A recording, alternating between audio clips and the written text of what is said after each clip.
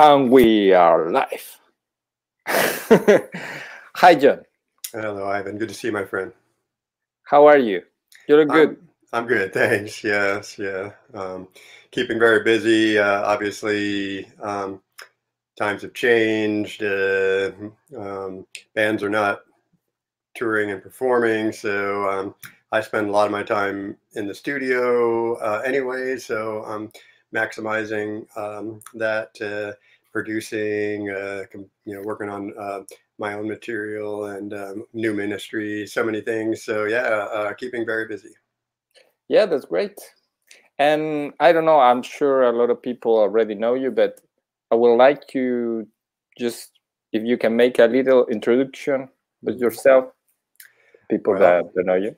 Sure. My, uh, my name is John Bechdel. Um, uh, I'm a keyboard player, uh, musician, guitarist, vocalist, uh, producer, composer, all kinds of things. Um, I'm U.S. Uh, uh, born and raised in Pennsylvania, and uh, been a touring musician for over 30 years with many bands. most recently, of course, Ministry for the last 14 years, and before that, Fear Factory uh, Prong, Killing Joke, Murder Inc. Um, so I've been uh, very active um, the last uh, uh couple of decades, uh, and also, um, uh, like I said, in the studio as well, where I spend most of my time. Yeah, no, it's a, it's already thirty. Just yeah, I, I started. Yeah, I started touring in 1987. So 33 years I've been a tour, professional touring musician. Mm-hmm. Oh, that's really impressive.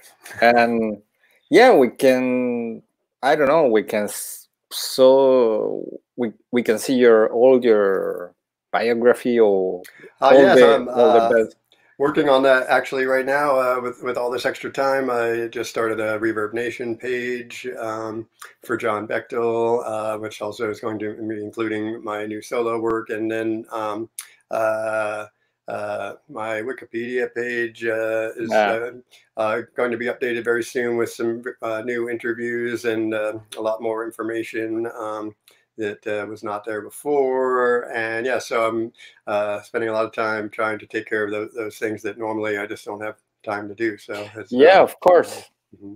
of course. Uh, I, am sure many people ask you, ah, "Why do you do this? What do you do that?" Uh, you don't have the time, you know. Yeah, but now I do. So um, yes, yeah.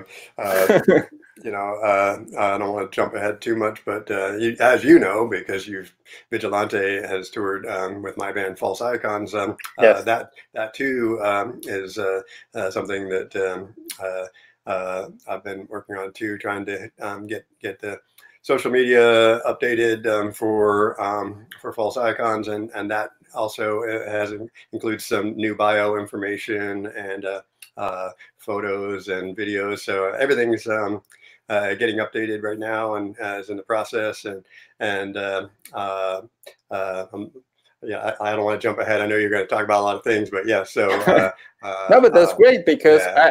I I don't know if most of people know you about ministry, but not maybe not many people know about your your project called False Icons. Yes. Yeah. Yeah. Maybe you can talk a, a little bit about it.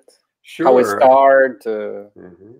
Uh, yeah, so um, I've been a musician my entire life. I started playing piano at five. I was lis- listening to music and uh, very serious about music even before that, um, and was probably six or seven when I knew that that's what I wanted to do uh, wow. with my with my life. So yeah, that's um, really early. uh, and then um, I uh, started learning guitar um, as a teenager and um, uh, was uh, already kind of playing in in bands, um, mostly cover stuff, but also I was kind of you know beginning to write uh, my own material and. Uh, uh, right before I went to college, I um, bought my first synthesizer. I was 17. I was into electronic music. It was very, uh, very new, the whole thing at that time. And I also um, because I knew uh, I, I, knew what I wanted to do, I focused uh, my college career on that. I went to a very unique school um, in New England that allowed you to kind of do whatever you wanted. And um, I, I, wanted to do electronic music, but I also was very interested in computers. And uh, that was something that was very new at the time as well.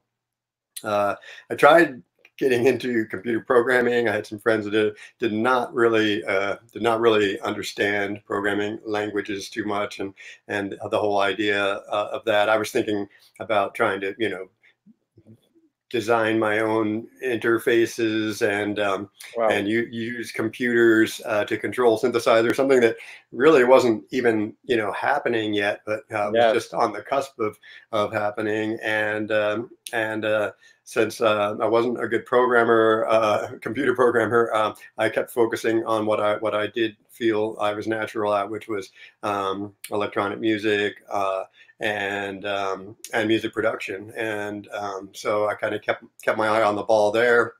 But I did study uh, physics and acoustics, all aspects of, of sound, and and uh, and and then uh, um, was already by then uh, learning, um, you know, how to you know do multi-track recordings and work on modular synthesizers and still always uh, you know kind of have my, my guitar um, and, and, and, would use that as well uh, and even was um, beginning to, to you know to, to do uh, uh vocals uh, um, I sang in a band that I had in college uh, we did original music and so yeah that was the early 80s um, so yeah. so then um, uh, after college, I moved to New York where um, I started my career kind of doing a lot of different things, um, working in a music store, and um, and I got to meet a lot of people and some producers, and and uh, uh, you know uh, started programming, and um, also was doing lectures and seminars on sampling and, and synthesizers and oh, just completely immersed uh, in, in, it. And um, all, all the while um, building up my own uh, home studio, bought my first computer. And, um, you know, by then this technology was, you know, readily available and affordable, or kind of affordable. and, uh, and, uh, yeah. and, uh, and I, uh, you know, I was able to, to, to start literally, um, you know, doing everything, you know, uh, to compose my own music. Um, and then uh, I got um, uh, an opportunity um, uh, to to play keyboards for Killing Joke. It was, you know, one of the most amazing things that really ever happened. That was your me. kind of your first uh, big gig. Well, yeah, but that you know it wouldn't have happened if if I wasn't playing in a band called Brian Brain um, with Martin Atkins. That uh, as soon as Martin I moved, Atkins? Yeah, sure. Um, okay. Yeah, uh, when I moved to New York uh, in um, the spring of 1987, uh, I knew about him. a friend of mine was friends with him, but uh, I didn't know him. But uh, anyway, he was looking for a keyboard player, guitar player, and my friend recommended that you know me to him. Said I just moved to New York, so he called me up and offered me you know to, to kind of try out for for this band, and um, and uh, we had really good uh, you know, rehearsal, and he was like, "Wow, you know, you know, you definitely a very motivated person. Um, uh, like your vibe." And and uh, and uh, we started playing shows in New York uh, City, uh, like the Limelight and the Cat Club, and it was just very exciting. Um, we uh, during this time he was playing with Ministry too. No, no, this was this was before. oh yeah, this was right after he quit PiL. So, oh, okay. Yeah. So this was mid mid '80s, and um, all right. And uh, uh, we, uh, my first tour was with Brian Brain. Um, we traveled, uh, to, um, you know, um, well, about halfway across the country to, to Minneapolis and back. And uh, you know, one of the things that you know I talk about a little bit, but a lot of people don't know. Uh, um, uh, we had some guest horn players uh, in the Midwest in, in Ohio. Uh, one of one of which was Trent Reznor. Yeah. What? Yeah. Mm-hmm. on the, on my very first tour. Yeah, this was before Nine Inch Nails, before um, you know Martin joined Killing Joke or Ministry, and so yeah, so uh, we put out a, an EP. That was my first time, you know, recording on a know official release, and um, this was just all happening very quickly. Um, so yeah, like still, like I said, um, working um, in my own studio, mm. composing music and programming and, and working with other people, uh, producers. And Martin and I as well worked outside of um, Brian Brain. Um, he was very impressed with, uh, you know, samplers and, and how I had, you know, electronic um, drum pads and we could program rhythms into the computer and things that he that, just never didn't even know you could do. And, and uh, we, you know, we, we um, we uh, we had a lot of fun doing that. And then uh, he uh, had an opportunity uh, to drum for Killing Joke, and of course, Killing Joke was like my all-time favorite band. And I used to do nothing but play Killing Joke on, that tour when we were driving across country. Uh, all I played was Killing Joke tapes, and Martin was like, you know, "Who is this band that you keep playing?" And I was like, "Ah, oh, it's Killing Joke." So, uh, so it was just so ironic, um, you know, to find out that he was drumming for them. And then, of course, it was only a matter of time until I kind of, you know, kind of, you know, told him, look, I'm, you know, if, if you guys need a keyboard player, you know, I, you know, I'm, I'm just totally, totally down with that. And he said um, that, the, that that might be a possibility. And it ultimately turned out that it was, they, they asked me to, to become their new touring mm-hmm. keyboard player. And for, for, the people that don't, don't actually know, I, I don't know, uh, do you think Killing Joke is uh, what, what for you is the influence, uh, um, the influence of Killing Joke in in music because for me his influence is so so big and not not um,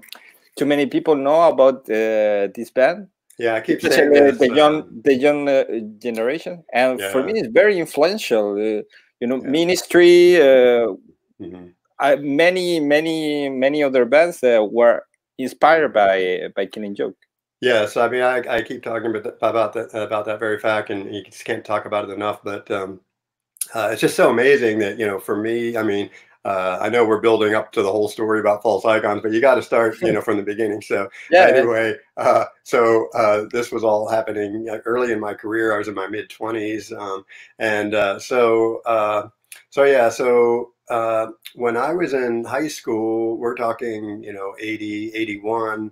Um, uh, uh, we were from a very small um, rural area in Pennsylvania at this time. You know, there was you know, just prior to, to, say something like MTV. Uh, um, we uh, we were very isolated. Um, um, nobody, you know, people weren't necessarily very, you know, uh, cultured in a sense of you know knowing much about you know the world open, and other places. Yeah exactly all that stuff. And and um and uh and so we of course grew up on the same stuff everybody else did you know like led zeppelin pink floyd and then you know got into you know rock and roll and and and and some pop music. But uh, but things started happening you know um, around that time period of uh, 19 you know 80 and 81 where suddenly we were finding all, all these uh, bands that you know we'd never heard of before. Like there was one record store where we, we were near uh, uh, where penn state university uh, was and that was about the most kind of you know uh, uh, culture kind of place we, we, we could find to buy uh, this new music and one record store was carrying it. And um, and so we just literally would just look at a record and say that looks cool and, and we'd buy it and we'd all listen to it and decide what we liked and you know um, pretty much liked everything. But you know one of those bands of course was killing joke and and uh, and uh, it resonated even more so than say anything else. I mean we were listening to duran duran omd um, human league uh, you know kraftwerk uh, king crimson i mean like uh, a mm. wide range gang of four. I mean just you know you name it. But anyway when i heard uh, that first Killing Joke record, and of course the second one, it it was a life changing experience. And um, I guess I still didn't realize, you know, how. I mean, well, I did. I mean, when we talked about these bands, people were like, "Who? What?" You know, they had no idea what we were talking about. They thought we were really weird. But then, you know, within a short period of time, they, they were all listening to a lot of these bands too, but not necessarily Killing Joke because it was Killing Joke was just one of those bands that just, uh, as I described it, just couldn't seem to fit uh, fit into any kind of sort of category, um, which in the U.S. Uh, that's right. Yeah, seemed to be the only way to, to market music. At least that's how business, uh, you know, music executives and business people would think was like, you know, well, what is this? And, you know, how do we, how do we categorize it and where do we put it and, and how do we market nah, it? And it's still, just, it's still uh, the same. Yeah. Killing Joke just couldn't, you know, they didn't really, they weren't new wave. They weren't yeah. punk, punk, rock really per se. Um, uh, so yeah, they, they you know, um, they weren't really heavy metal, but they had the intensity um, of heavy metal. Yeah. So, um, so yeah, so I, I, I, I feel that that's why they they never seem to get the, the notoriety that they deserved um, here in the U.S. But I do feel in Europe they they they're yeah. more widely known and um, uh, but nonetheless, uh, they inspired and influenced um, so many other bands hmm. to come. Um, but uh, you know, as you know, recently they supported Tool in the U.S. on a mega tour, arena tour, um, hmm. and I thought that that was great for them. That you know that, that they would finally get you know the kind of credit they deserved. But it seemed like even still, you know, people as progressive and and uh, uh, as as Tool fans just couldn't even really you know connect with this band. So uh, I don't get it. I just don't get it. Uh, I, I, think you know. I mean, I've seen them uh, recently. Uh, as you know, it's the original four members, and um, they're as good, if not better, than ever. Jaz, you know, like I said as well. Um, top of his game, you know, and uh, and uh, and so you know, hey, it's better, you know, more for us.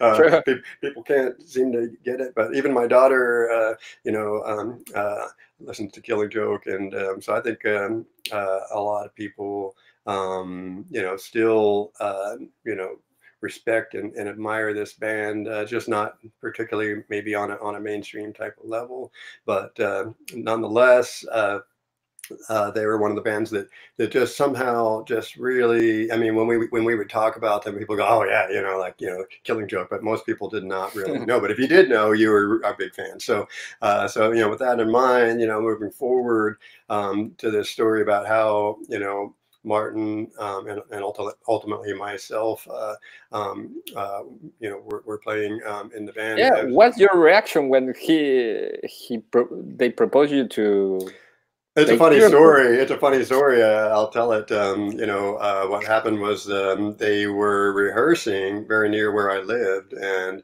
so I had never seen the band perform. I had never even, you know, like the idea of actually meeting them was beyond my wildest dreams. But here was this opportunity. Martin's like, "Yeah, hey, you know, why don't you just pop on over? Um, we're rehearsing, you know, not far." And uh, I hopped on my mountain bike and and rode rode over and uh, uh, uh, walked into this rehearsal space, and um, and there they were. Uh, uh, I got to meet them and watch them rehearse, and um, you know, at the time they did have a, a touring keyboard player, but um, you know, Martin just kept saying, you know, hey, you know, you just never know, and um, I, I I went to you know um, a couple more rehearsals, and then each time they played uh, in the New York uh, City area, of course, I was there and um, uh, you know made myself you know my, my, presence known and, and and my admiration for the band and um, and uh, they got to you know know me a little bit more each time. And uh, the story um, is that one night Martin called me.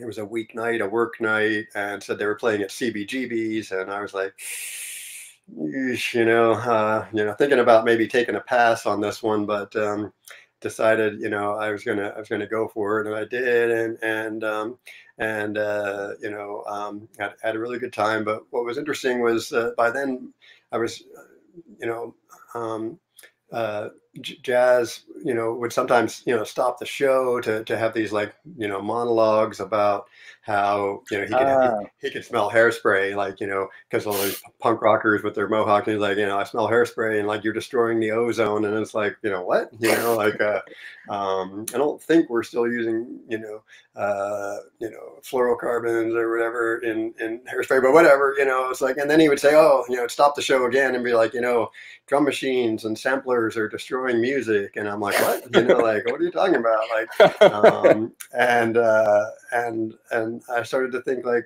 uh, as a fan, I just thought like, you know, I felt like he was kind of alienating, you know, the the, the true fans that were there to to see yeah. him. So. Um, as much as I, you know, really admired the band, I, I did feel like, you know, something, you know, that, he didn't that just wasn't right about that. So um, after the show, Martin invited me to uh, a party, um, uh, like an after show party, and uh, I was like, "Well, what the heck?" You know, it's like it's going to be a late night, so uh, I, I, I went with them. We all hopped in a cab, and and when we got out, it was like you know people were kind of this place was packed, and people were outside, and they like immediately recognized the band, and we're like, "Oh wow," you know. And then I was with them, so I kind of it was almost like you know I was getting this kind of royal treatment and feeling like, "Wow, uh, this is."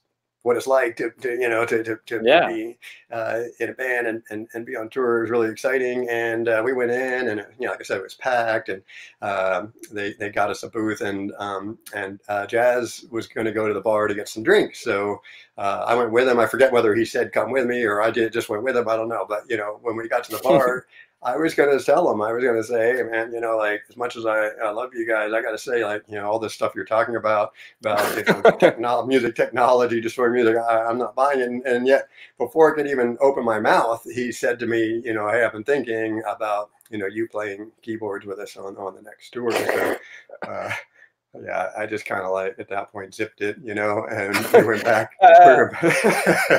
one of those moments, and I, we were back and, and it was as if the other guys knew that this was this proposal was happening because as soon as we got back with the drinks, uh, Geordie was like, "Well, well, you know, uh, welcome aboard," you know, and things like that. I was like, "What?" You know, I didn't even say yes. I was just like, I was just like stupefied. So uh, I just kind of like at that point, well, it was getting late, and I'm like, I got to go. I got to work in the morning. I never even said yes or anything. I just kind of like just walked out of there thinking like, I think I just, you know, joined Killing Joke. I don't.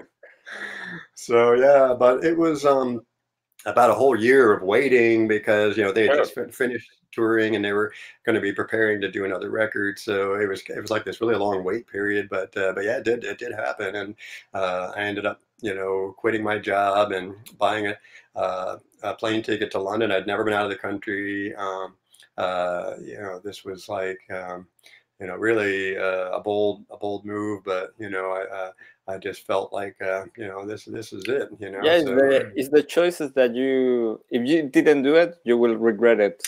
Yeah, your sure. entire life. Yeah, I don't think there was much chance of that, but I but the story continues. You know, uh, uh, uh, you know, uh, flights to London from New York. You know, you travel overnight. You don't sleep really. So I arrived in the morning and. Um, had a long journey from Gatwick to, to into London. And I didn't know what I was doing. I was carrying a huge keyboard and a road case, a sampler. Oh um, yeah. I had a suitcase. I had a hard drive and a briefcase. All this stuff I couldn't, and I didn't have any like English money to get one of those little carts. So I was kind of li- literally like moving things six feet at a time and, and, and, and trying to get through Victoria Station to, wow. to where to where Martin was. Yeah, gonna... it's not like it's not like now that you you, you need a laptop and a controller. Yeah, no. no, no, no, no, no. And uh, so yeah, so I was pretty worn out. Uh, Martin met met me at Victoria Station. We hopped the cab back to the rehearsal studio. Everybody was like really excited. Um, you know, and um, and uh, you know I, I, busted out my you know my my keyboard and my sampler and this is stuff that they you know, you know really new technology and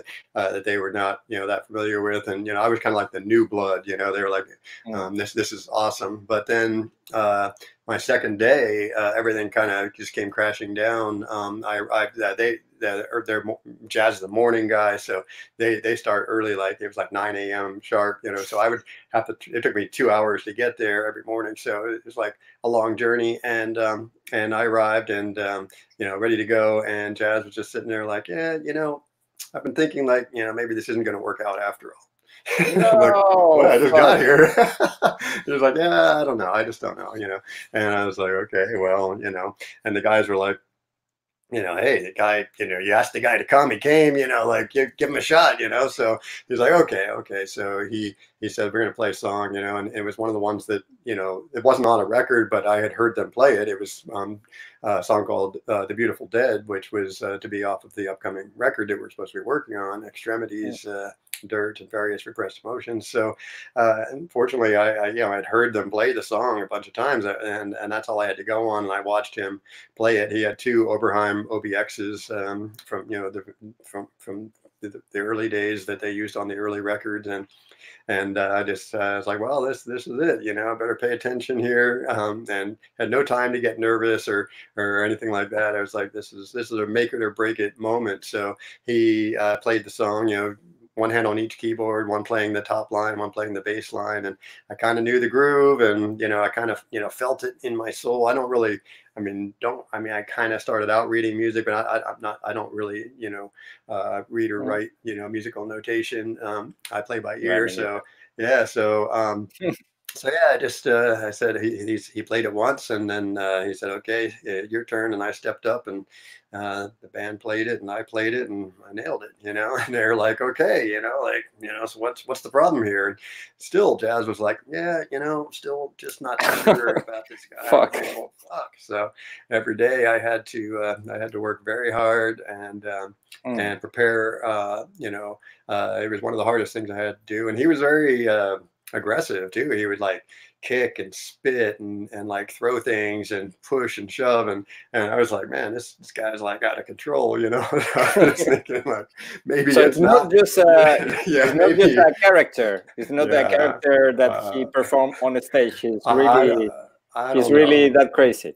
Well, kind mm, of. He, he, uh, all I can tell you, some of it I think is his persona and okay. and uh, and whatnot. Deep down, I, I don't think he's crazy at all.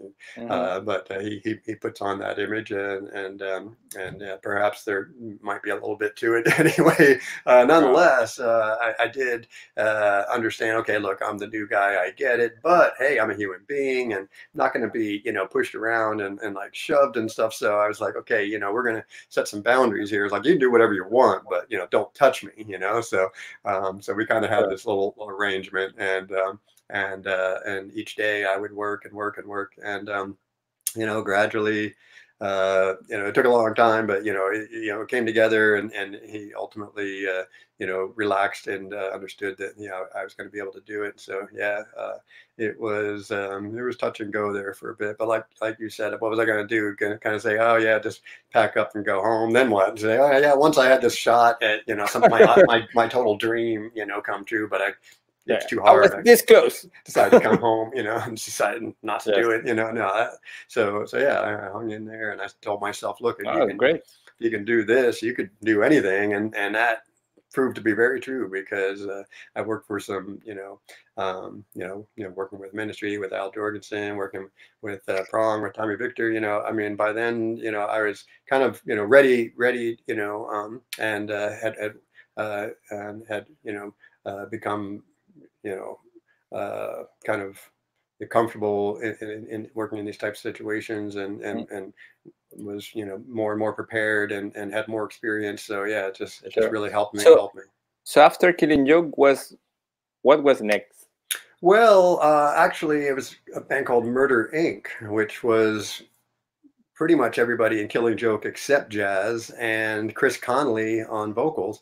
It was uh, supposed to be a Killing Joke record, but then Jaz and Geordie had some sort of falling out, and okay. uh, we decided, hey, we have you know we have this studio time, and we're going to make a record, so let's just make a record, you know. And then Chris Connelly, uh, Martin had Chris Connelly uh, do vocals, and obviously it, it wasn't Killing Joke. I mean, um, hmm. so we the same. We called it uh, Murder Inc. and um, it was really uh, just one record because uh, as soon as we finished it, uh, Jaz and Geordie made up and and um, and uh, uh, also reunited with with Youth um, to make the Pandemonium record. So so Murder Inc. was supposed to be like this new project, the phoenix rising from the ashes, and and we arrived for some shows in England. Only in, in the music press, uh, you'd see the big page for Murder Inc. and you'd turn it, and then suddenly it was like Killing Joke reunion, Pandemonium. I was like, what? You know? so it was really kind of strange, but uh, it, uh, the the writing on the wall was that um, that uh, um, things had changed, and um. Uh, so Paul Raven, uh, the bass player, he and I uh, by then had had bonded um, quite a bit, and um, he is a bass player of Prong. If I well, actually, from Killing Joke, he he was the what? second. Yeah, Paul Raven also was the the second bass player uh, for Killing Joke um, when Youth um, left the band in the early '80s. So Raven was in Killing Joke from like '83. Okay. Uh, '84. Yeah, sure. Up until um, well, he was not on that. Uh, the tour that I first met them on. Um, but when I uh, joined the band uh, in London, he came back to play bass for the Extremities album, and that's the first time I met him. And uh, like I said, he and I bonded uh, mm-hmm. quite a bit, and so um, Murder Inc. kind of collapsed, and he uh, had been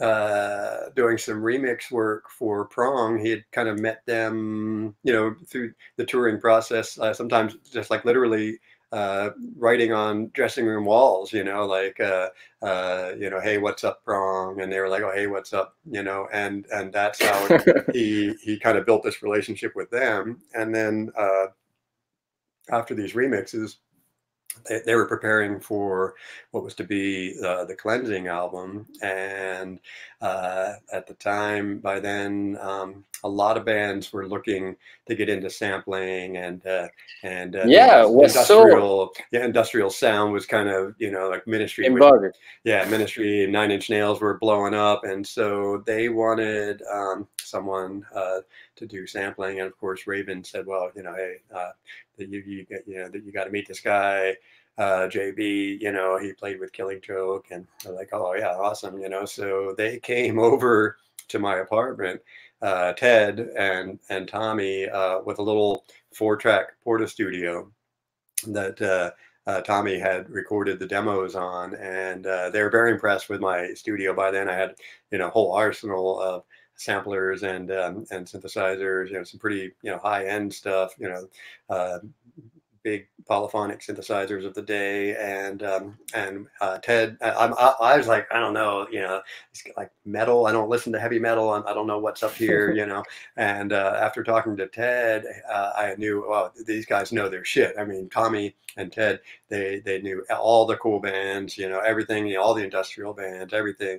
They're not just metalheads. In fact, you know, this you know they kind of probably weren't necessarily even labeled as metal at that time um, more alternative or something i don't know but mm. anyway uh, I, I did feel comfortable um, and i heard the this material and, and when i heard uh, Tommy play "Snap Your Fingers, Snap Your Neck." I'm like, yeah, this one's pretty catchy. This one, this this song, you know, I, I I could get into this. So um, yeah, um, yeah, it looked like we were um, you know we were connecting and so we uh, went into uh, some you know rehearsals and and uh, pre-production uh, for the record and uh, and uh, this was interesting because you know with killing joke i just played the songs you know um, i yeah. had um, some minor contributions of my own on the extremities record which was you know, monumental for someone you know mm. who was like you know 25 but years old killing, with killing joke with everything was played or there oh, yeah. oh, yeah. Oh, oh, oh, no. Yeah, everything was live. No, no, no programming, no, no backing no, tracks. Uh, no, nothing like that. That that technology really didn't really didn't exist uh, yet. Um, and uh, there was no click tracks, no um, no nothing. It was all played uh, the keyboard and and the things that I contributed, um, the sampling, mm. Um, and even some loops, and, and I did use some some sequencing.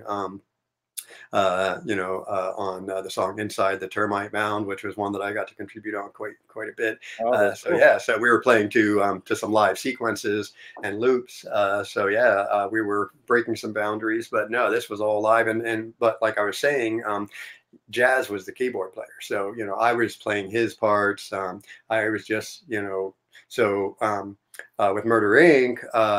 I got to step up and, and kind of, you know, be, you know, do my own thing. And, and it was interesting because, um, you know, I was kind of new still. And uh, so Geordie uh, actually um, you know, he he helped me uh, with some amazing chords that worked with his guitars, and Raven come up with some really cool ideas, and Martin and like everybody kind of you know helped me along a little bit through that Murder Inc. record, and then with Prong, you know, it was kind of like um, I was more on my own. They were just kind of like, you know, hey, you know, um, uh, we, we're not sure where we're going here, but um, you know, uh, they were talking about like say ZZ Top. You know, they they they um, integrated some electronics in their music, um, and uh, and uh, and ZZ I was, Top. Yeah, sure. They uh, they had um, uh, one of the first metal bands to really uh, introduce electronics. If you listen to it, um, it's pretty impressive. Um, and so, all right. Uh, and of course, Ministry, Nine Inch Nails, but also say uh, Neubauten.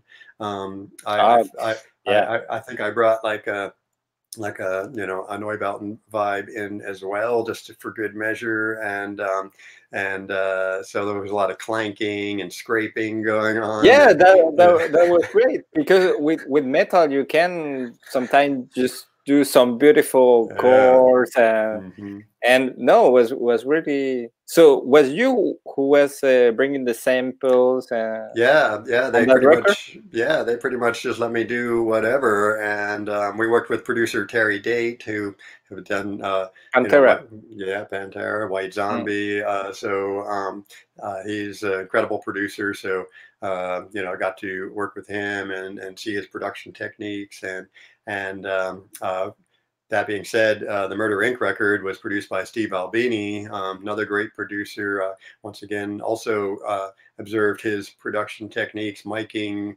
um, techniques, and you know, the, he, you know, Steve Albini is known for his you know vintage mics, and and uh, and so you know, I was taking notes and and learning because I was like, hey, one day I'm gonna I'm gonna produce, you know what I mean? So I was I was this is this is uh, really good stuff to, to, to learn and work with these people, and so yeah, so um, Prong was poised, uh, you know, for a, a big release on a major label uh, Epic, and um, hmm. and uh, we were supposed to tour with White Zombie, and ultimately uh, Pantera. You know, we all shared the same management company, and um, and so yeah, uh, it was a pretty big deal. And um, and uh, our first tour, we supported the Bad Brains, which was an amazing tour. And then Whoa. I said, like I said, we did White Zombie. Then uh, that summer we did the uh, Pantera Far Beyond Driven tour with Sepultura, um, which uh, still to this day people are talking about that tour. It was a mega tour. Um, and How did, was uh, touring with Pantera? It was amazing. I mean, that's the guys are wonderful, wonderful uh, guys. They were at the at the peak of their career, and um, you know they debuted at number one with a bullet, um, mm. Billboard. Uh, you know, metal was huge. Um, this was a big. But they were big, cool guys. Oh yeah, on the road. Yeah, all of them. Yeah. Mm-hmm. Yeah. Uh, so yeah, I mean, then suddenly I was this metal guy, you know. So yeah, that's uh, even though I never never listened to heavy metal. So um, so yeah, so um, Prong, uh, we had a big year. Um, uh, we also headlined uh, uh, Europe and the U.S. Um, um, we had three videos on MTV, mm. and then um, uh, we were at the tail end. We're talking about the next record and and you know what kind of direction we wanted to go in mm-hmm. and um, uh, um, that uh, that Christmas uh, after we finished touring that record, uh, Raven and Ted came to to my uh, studio and. Mm-hmm. Um, we tinkered around with some ideas, uh, and um, I continued to uh, to work on some ideas uh, and was sending them to Tommy. He had relocated suddenly to LA, and so um, oh, know, okay. that was kind of weird because you know they were okay. based out of out of New York, and by then I, I just moved out of New York into Pennsylvania. It's happened but, a lot, or, or not, that people what? from New York go to LA and uh, they kind of I, change.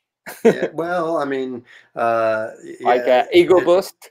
uh, a lot of bands did. Um, it seemed like LA, if you really wanted to, you know, um, do things, you had to go there. At this time, it was just the dawn of globalization, so mm. you kind of had to be, you know. But I had just moved out of the city to um, back to the country, so I was taking a big step.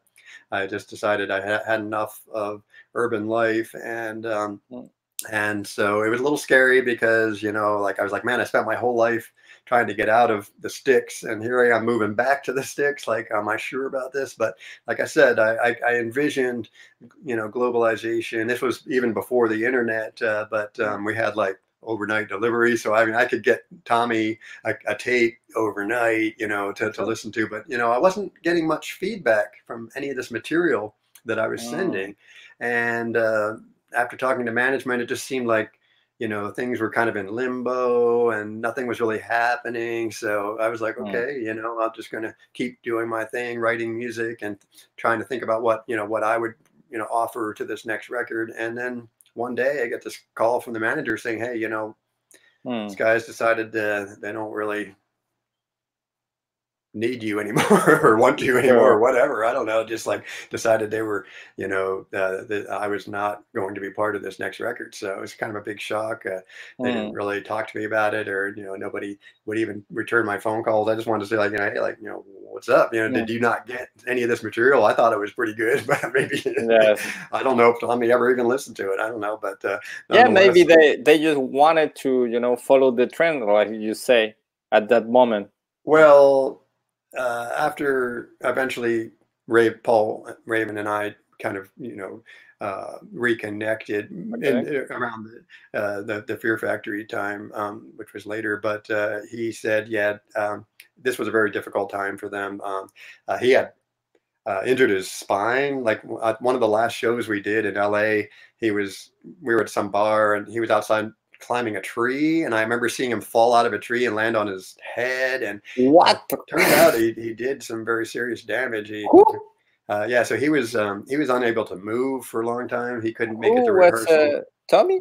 No, Raven. Paul. Ah, Raven. Yeah, yeah. yeah so, um, so he said that you know Tommy was just like, you know, what the fuck? Why aren't you coming to rehearsals? And Raymond's like, I can't move, you know, and so he, he you know, he, he thought maybe he was fired too. He, that's why he stopped going. He's like, you know, I thought, you know, wow. they just replaced me, but it turns out they were still waiting for him. But and nonetheless, they did um, make a follow up record. Uh, um, but uh, yeah, uh, they started to tour it. Um, this was before Ozzfest was called Ozzfest. It was, uh, I think, still Ozzy or you know something like that. But uh, yeah, uh, from what I understand, the label by then was disappointed with record sales and didn't mm. really feel like you know they wanted to you know get behind this band anymore. So they kind of pulled the plug on the tour support and and the, and and uh, and uh, dropped them. And so the band uh, kind of disintegrated um, that following year. So in a way. Mm you know, I looked at it as like, okay, well, kind yeah. of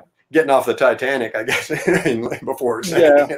Yeah. so uh, uh, I, I, had to kind of start over. You know, like, well, now what am I going to do? And and um, I kind of thought about getting back out to touring, but um, uh, just nothing was really kind of lining up. And I decided uh, it was time to do my own thing. And I had my own studio and uh, uh, some uh, local bands who were learning about me um, were calling me up and saying, "Hey, you know, do you record bands? Do you mm. produce?" Mm. I'm like, "Well, not really." But then it was like, "Well, hey, you know, why not?" So I said, "Where were your your studio on that time?" Yeah, yeah, yeah. This was, where?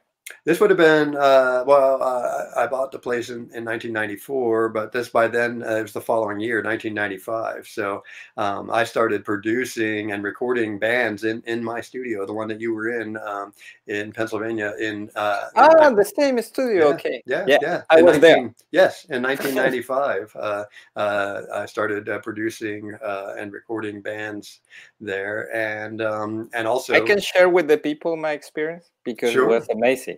Yeah. Because um, yeah, just I I don't want to interrupt you. Just a little break mm-hmm. because mm-hmm. uh, the studio of John is uh, is amazing. He have he is like a, a, a synthesizer and sampler museum. Yeah, yeah. it's like I don't know how how much money you have there. Well. Uh, I'm sure a, a, collector could. Well, here's the story uh, quickly about that: is that when when those when when those when I bought those uh, now vintage synthesizers mm. um, and uh, and and samplers, uh, um, uh, they, they were already out of fashion. Like um, mm.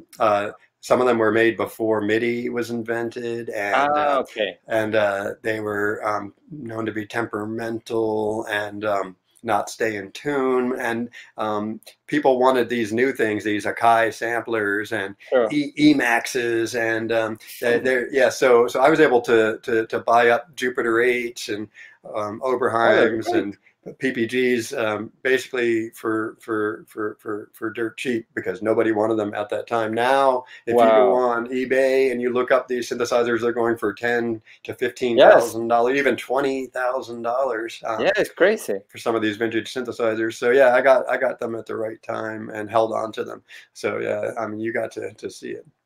No, that's great.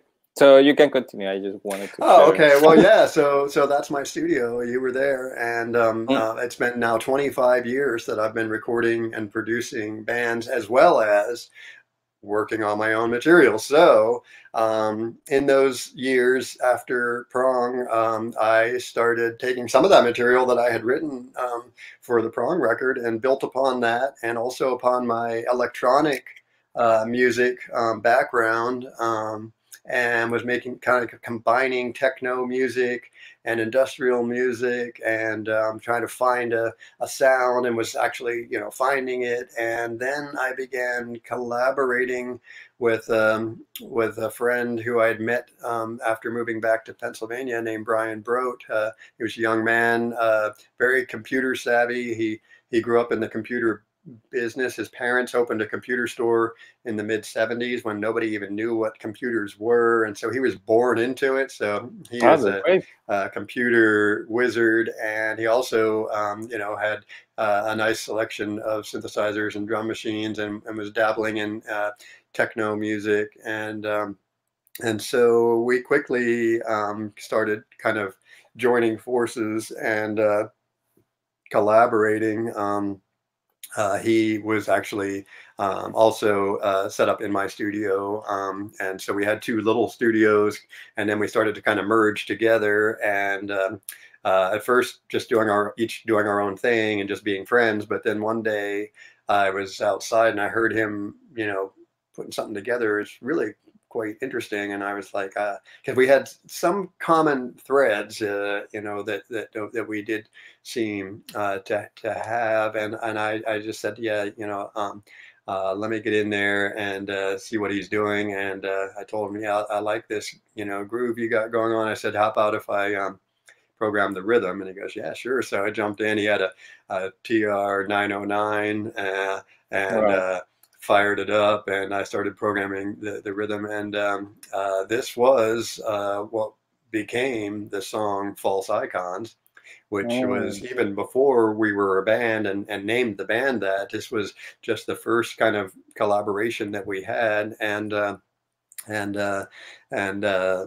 then you know um, I was uh, uh, I got a call um, from Fear Factory uh, asking if I'd be interested in, in uh, being their uh, touring keyboardist. And so, like, just when I thought like I wasn't looking for a gig and wasn't interested in touring, um, boom, you know. So yeah, I knew about Fear Factory and heard their music. I had a lot of respect for them, and uh, uh, they flew me out to Vancouver. Uh, they were finishing up the obsolete record. Um, uh, turns out that uh, Rhys Fulber uh, was the one that recommended me because he remembered me from Killing Joke, um, Frontline okay. Assembly.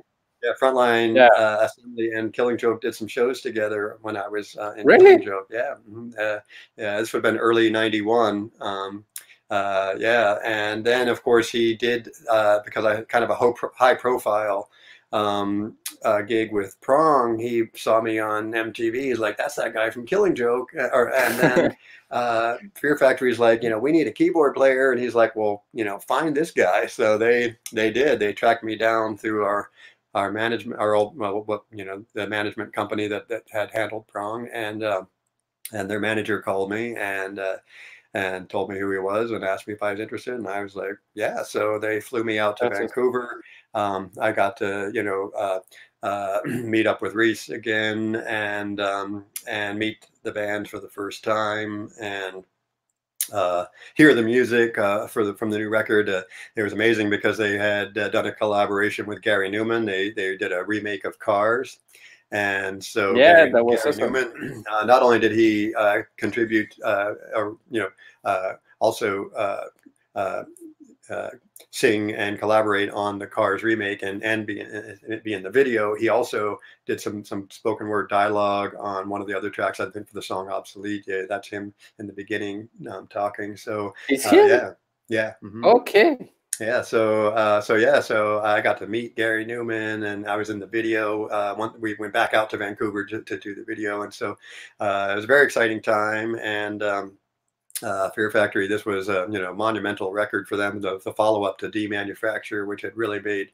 an impact um, on industrial metal, and uh, you know um, uh, their unique blend of uh, um, death metal and electronics and industrial uh, was uh, you know really something uh, special. And Yeah, and I remember. I remember. Obsolete is uh, it's like a whole. It's like a concept album. It's like a whole story. Uh, Yeah. So what's interesting is you know Rhys uh, you know really went all out on that record. They uh, Mm. used um, you know orchestral uh, sounds and um, much Mm. more uh, electronics and keyboards than they had done before. And so they had had a couple different keyboard players, but they felt like it was time for someone you know who could really handle like all of this stuff that they were doing, and they needed someone you know with a lot of experience and they mm. came they came to me and it was just uh, you know um, uh, the right time um, for me to get back out there and yeah I had you know the you know the skills um, you know to, to you know I had to like literally uh, sample everything from DAT tapes you know it was still pretty er, pretty primitive we were using zip drives and things um, But was And- Rhys Fulber who tell you, yeah, you you need to play this part? no no no no he just It's gave me a like, no, Figure he it out. Oh yeah, yeah, yeah. He just gave me a DAT tape, and he goes, "Here you go. This is everything you need." And then I had to do the rest. So I had to sample. Oh Yeah, I had to learn the song. I had to listen to the songs. I had to learn them. I had to um, also like listen to these DAT tapes. There was just the the stuff that like the tracks. You know, there wasn't And you have individual to recreate the sound. Yeah, I had to. No. Um, so let's say there was like a keyboard part, right? I Yeah. didn't get individual notes or anything like that. No, no programs or anything. I So had no patches, no nothing. nothing. So what I did was I took um, samples from individual notes off of the DATs, and then I had to, you know, loop them, you know, crossfade looping. You know, really had to, you know, uh, get it just right so that I could play the sound, the exact sound. You know, I was using a Kurzweil, learning the Kurzweil um, sampler uh, keyboard, and um, and uh, and had to recreate the patches from, you know, just taking a little snippet off of the the, the DAT tape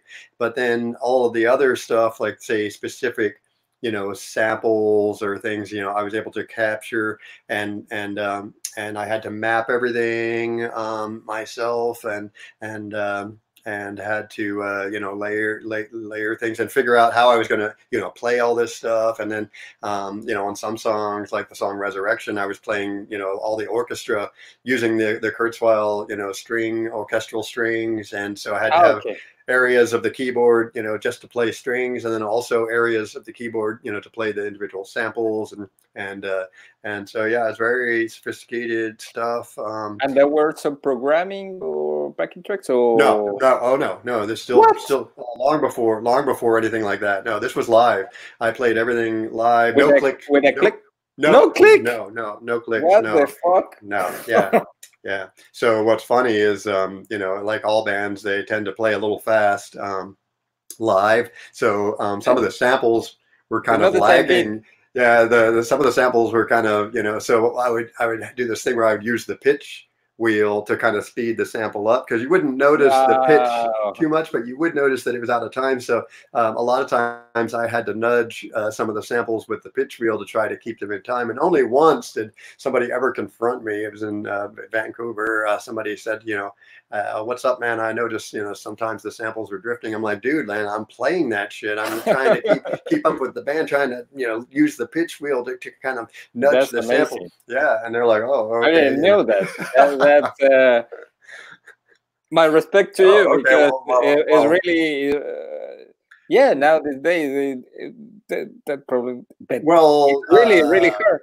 and well, especially with that kind of music when the drummer is so mm-hmm. fast mm-hmm. and oh, yeah. he makes yeah. so complex patterns mm-hmm. you know yeah. You, well, uh, that was one of the things about playing with prong and, and killing joke was it prepared me you know for for mm. that level of um, of playing and so yeah um, i was uh, i was definitely um, the guy for the job and i was ready ready for the task um, uh, and just to jump ahead quickly of course you know ministry same thing. They were when i joined uh, playing um, live uh, just using the samples. Now this time was different in that we were using click oh, um, oh, sure. uh, to, because that's the only way to keep the music you know keep that from happening where the, the samples would drift. So, um, so ministry, sorry but the people in the factory he knew a little how it worked the stuff or he just he he has some knowledge of samplings are we talking about Rhys?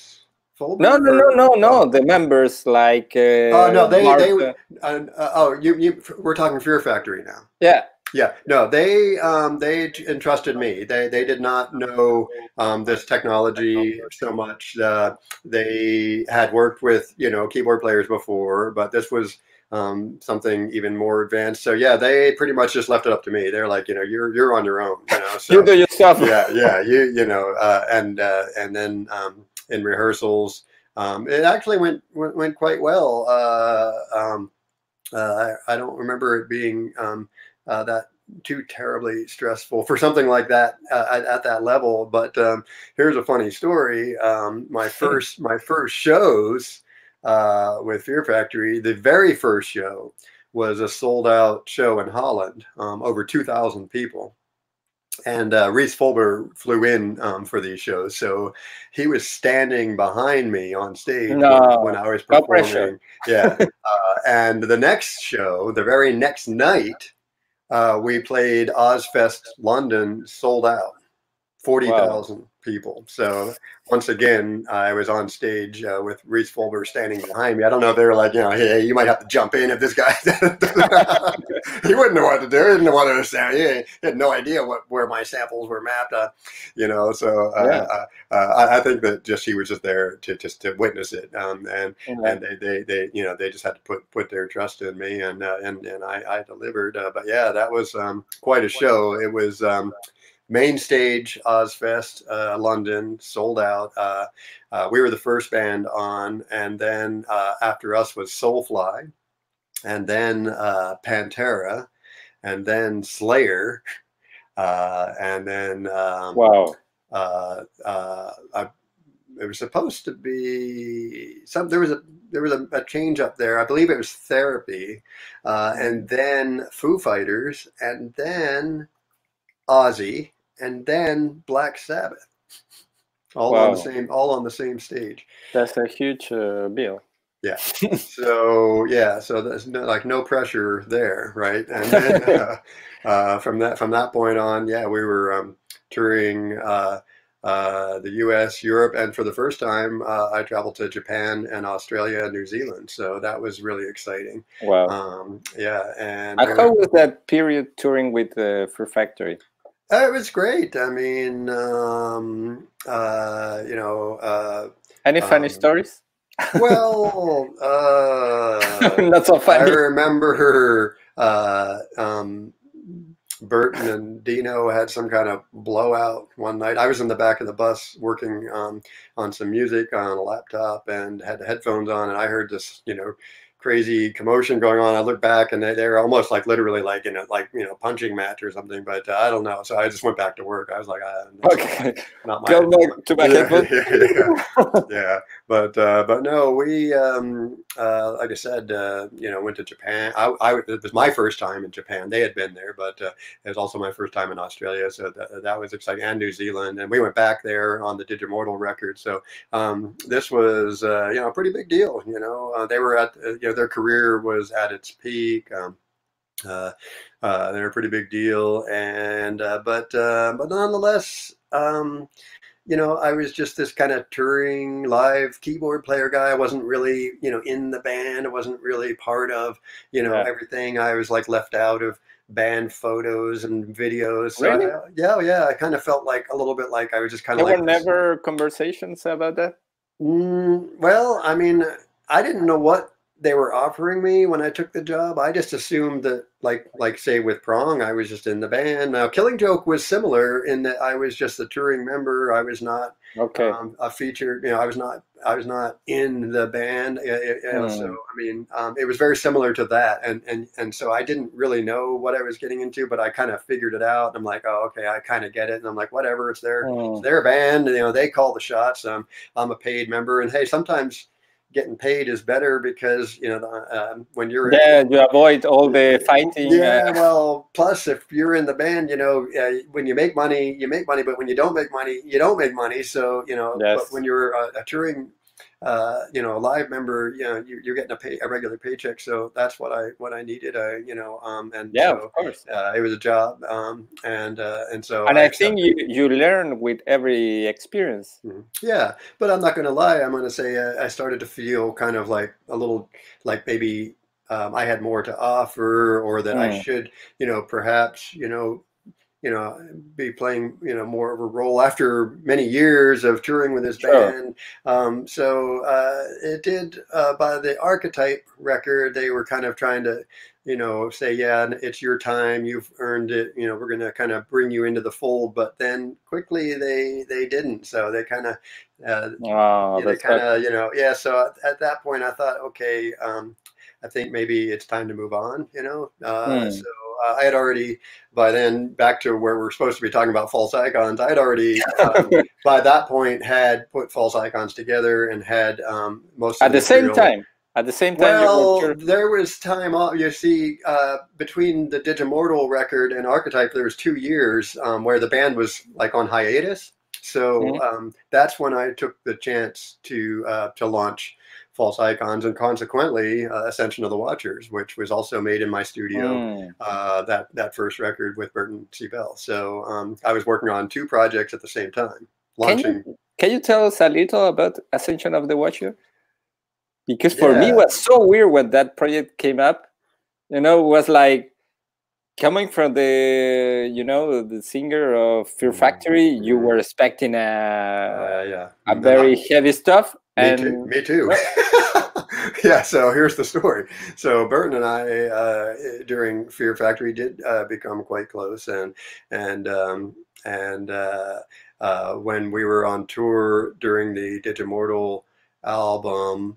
Uh, we actually had a day off in Pennsylvania, which is rare to get into that territory. Um, so we rented a car and drove to my house, and uh, and um, uh, Burton was like, "Wow, man, this is like awesome. I totally get why you you you live here. Um, this is beautiful." And um, you know, I showed him the studio, and he's like, "Oh my God, you know, this is amazing." And uh, he's like, "I'd like to come back um, and record here." And I was like, "Cool, yeah, no problem." So you know, mm-hmm.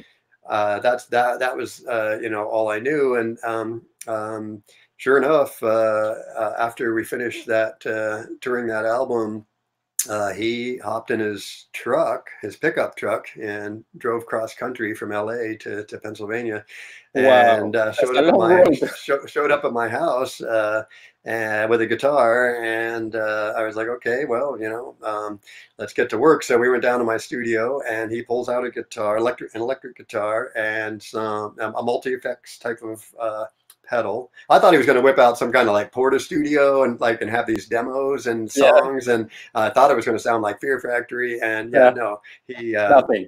No, he pulls out this guitar, he puts a whole bunch of echo on it, and uh, he starts playing um, these like you know these ideas, and I'm like, uh, okay, like um, that's that's it, you know. And he's like, yeah. So I'm like, okay, you know. Uh, so uh, at first, you know, I was kind of like like you. I was like expecting something heavy like Fear Factory, and so. But then it made sense. I'm like, uh, this makes perfect sense. No, but it's great because it gives you space to. Yeah. Yeah, well, I mean, like I said, uh, turns out Burton, like myself, is not a metal guy. Um, it, it, I started to realize that when I stayed with him in LA, uh, looking through his music collection, the only yeah. records that could be perceived as metal would have been like Black Sabbath. Everything else was really? industrial music and goth music, you know, Nick Cave and Godflesh. And so, you know, um, then I okay. started to think think about it, and I'm like, okay, um, we might have some common ground here. I'm thinking Joy Division, sure. early Cure, um, and here I am with you know with all of these uh, wonderful vintage synthesizers and samplers, and and and not only that, but like a huge collection of uh, of sounds um, mm. uh, from uh, you know Fairlights and Synclaviers and other you know um, uh, you know uh, uh, you know, music systems and uh, samplers and synthesizers of, of the early 80s and um, decided that, you know, this was uh, the perfect opportunity for me to be able to utilize some of those uh, sounds. And so um, after listening back to these tracks I made of him playing guitar, I'm like, oh yeah, I mean, this, I can totally hear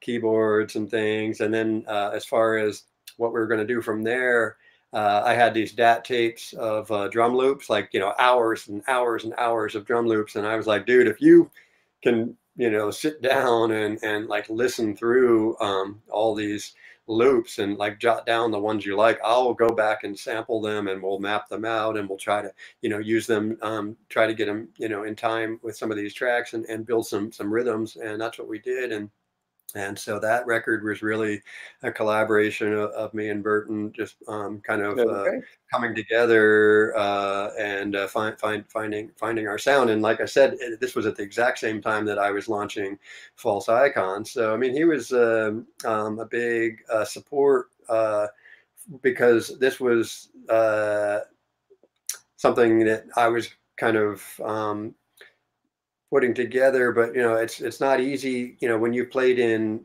you know, Killing Joke, Prong, and Fear Factory to suddenly put out your own band, it's kind of intimidating. You know, like how are you going to like, you know, are yeah. you to like, uh, you know, people are going to be like, uh, yeah, really, you know. So uh, I, I really, I really didn't think about that too much, which is actually probably pretty good. I decided, you know, uh, hey, this is something I've been doing my whole life. Um, this is something I just need to do. I wasn't thinking like it's got to be better than Fear Factory or Killing. That, that's impossible, you know. So I just had to be myself and just find my own you know direction but i'm not going to lie i mean it's hard to to be have a career playing with all those bands and not have a little bit of it rub off on you right so um so yeah so i had a little bit uh you know you might hear a little bit uh, of some of those other bands in there but but but ultimately uh, fear factory became i mean i'm sorry false icons became you know my, my, uh, my, you know, my baby and uh, yeah. and Ascension of the Watchers was Burton's baby, and they were both hatched out of my studio at the same time. And and like I said, he he helped, you know, kind of give me a boost. Like when I was I was uh, singing, you know, on on False Icons. Uh, and uh, thankfully, uh, you know, we had auto tune by then, so I was able to, uh, uh, you know, cut, you know, really good vocal tracks quickly and easily, and, um, and was feeling kind of confident about uh, my voice for the first time ever, really, and also, you know, I was bringing back my guitar playing um, uh, because, you know, I had been basically playing keyboards um, throughout, you know, the '90s, and so um, this was an exciting uh, time. And like I said, uh, Burton, you know, was big, a big support, support, you know, for me. Yeah, just like you know, he said, you know, this is good. You know, you know. Um, uh, so you you, know. you, make him listen to your yourself. We, we, we were doing it at the same time. You got to understand, uh, both projects were happening in my studio. So like one night, uh, it would be um, false icons, working on false icons, and then the next night, Burton would come over and it would be Ascension of the Watchers, but some of these nights when it was false icons night um, burton would just show up and hang out and be there and hear it and listen and be like yeah you you, you know you're you're on to something here and you know you know go go oh go that's it. cool so um, yeah so uh, so yeah so that um, those two years 2002 and 2003 uh, were, were, were, were dedicated to False Icons and Ascension of the Watchers.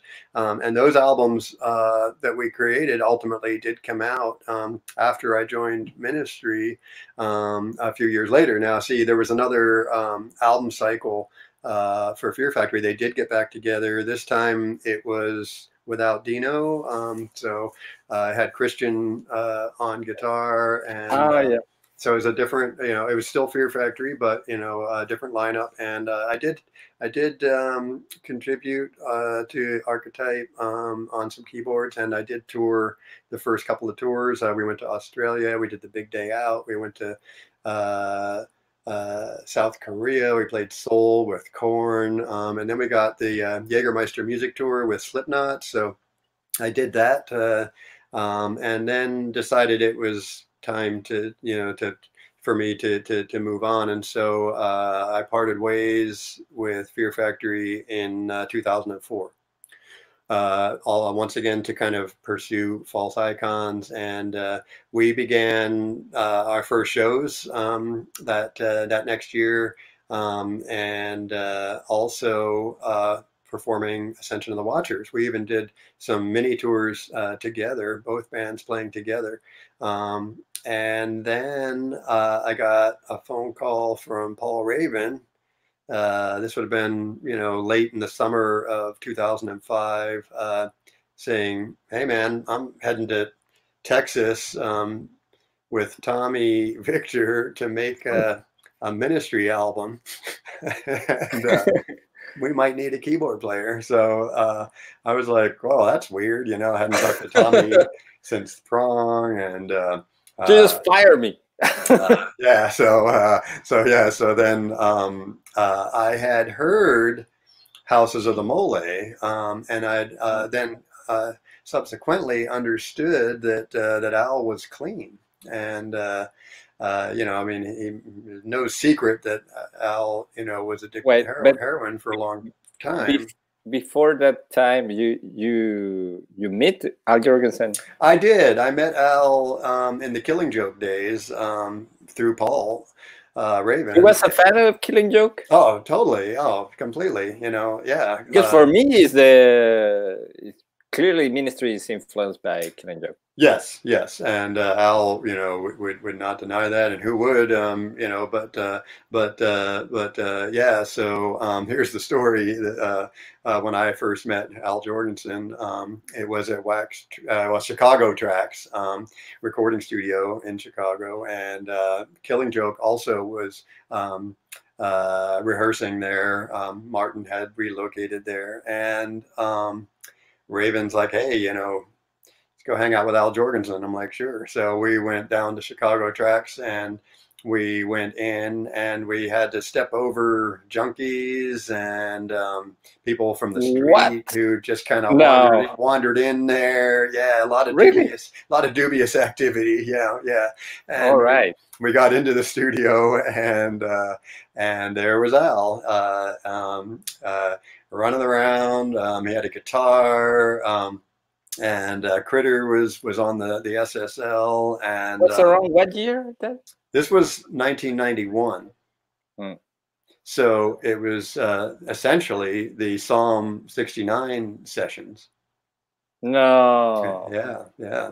So, um, so yeah. So, oh, and Michael Balch was standing there um, behind a big, you know, rack of samplers, just kind of like just standing there, really not doing much of anything because he's just kind of like you know just standing there. And uh, and I uh, met him for the first time. And uh, uh, Paul Baker too. Barker might have been there, but he wasn't in the studio. Uh, okay it was uh, it was and I, but I had met Paul and Bill and uh, of course Chris and um, uh, a lot of the guys, uh, but I, I, had not met Al yet, um, or my, I had never met Mikey until I played in ministry. So anyway, um, this, you were there. Yeah, so I was there, but I had I had met Paul um, and I had met um, Chris and Bill, you know, uh, quite a few times, and so you know, I, I you know I knew them uh, fairly well, but I had not met Al. So this was, um, you know, uh, a pretty big deal because I was a huge ministry, um, revolting cocks, uh, Pailhead fan, and so I was geeking out, total fanboy, you know. And Al was like, uh, "Settle down, man." You know, he's like, "You know, I'm just a regular dude." You know, he's like, "I don't even know what I'm doing." You know, I mean? he was just like, he was just like so humble and just so, so like, you know, he's like, "Hey, you know, you can be on this record if you want to. Come on back tomorrow." You know, I'm like, "What?" he's like, "Yeah, sure, come on down." I don't know, I did, but you know, really, uh, it was pretty crazy. So, so what, what what was happening was he was running around with his guitar, and I remember I was thinking like, "Where's the Fairlight?" You know, that's what I wanted to see. And it was sitting there collecting dust somewhere, but you know, this was, you know, he was kind of like in metal mode by now, you know. So, uh, mm. so yeah, so uh, he recorded uh, a guitar track and um, uh, immediately was like, something's not right. I don't think it's in tune. Uh, you know, Critter's like, yeah, I don't know, and uh, and Al's like, does anybody have a tuner? And like, you know, nobody had a tuner, and so he's like, Fuck. well I know. Uh, he's like, let's call Bill Rieflin. Uh, yeah, he has perfect pitch. He'll know. So they called Bill on the phone.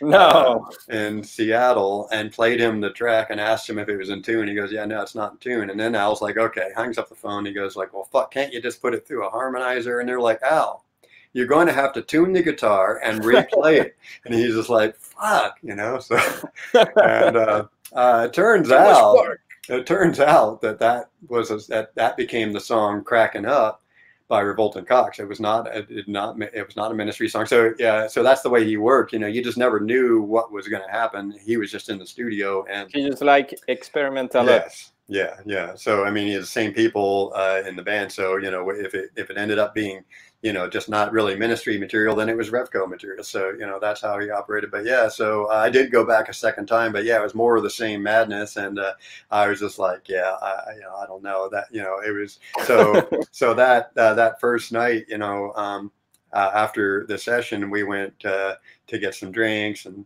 you know, of course. In that moment, you were kind of, I don't know, surprised uh, I knew you, you, were expecting something else. No, no, I I knew uh, uh, uh that that ministry because uh, Martin had played with ministry and told me, okay. you know, yeah, there's a lot of a lot of you know hard drugs going around there, you know, and, and okay. you know, hey, I'm you know, I like to party. Don't get me wrong, but yeah, no, that this was something like way out of my league. I was like, yeah, sure. I don't know, and um and uh and so it, it was not you know i don't know it just you know i was i was doing killing joke. I was quite happy doing that. And uh, it was great to meet these guys and and and to be able to you know to to see ministry in their heyday. And i remember uh, one night we went to see public enemy and um, really? it was yeah it was a big deal. Anthrax and i forget who else was on but uh, it was at the uh, the uh, the uh, agora um, or the aragon. I forget the i think it's the agora. So anyway um, uh, I remember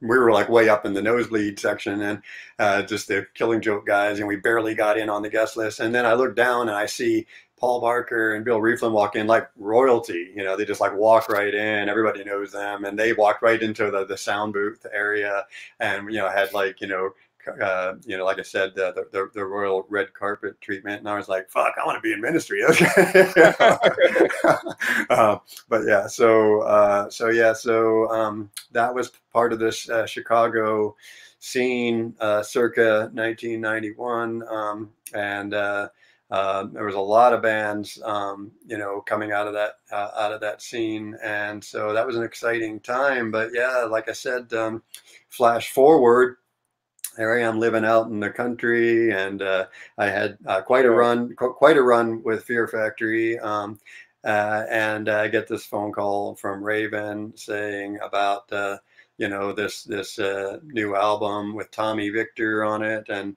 and uh, and and and and and I I had heard Houses of the Mole. In fact, I tried to catch that tour I came through Pennsylvania, but uh, I didn't. I didn't ultimately make it. But uh, but it was my understanding uh, that Al had gotten clean, and I'm thinking like, well, and even before I knew that, when I saw the uh, Mole record, um, I was like, something said, you know, because I mean, to be honest, uh, I I did not follow ministry through the the post um, Psalm era too much. I mean, hmm. uh, I remember Phil. You mean when they split with uh, Paul Barker?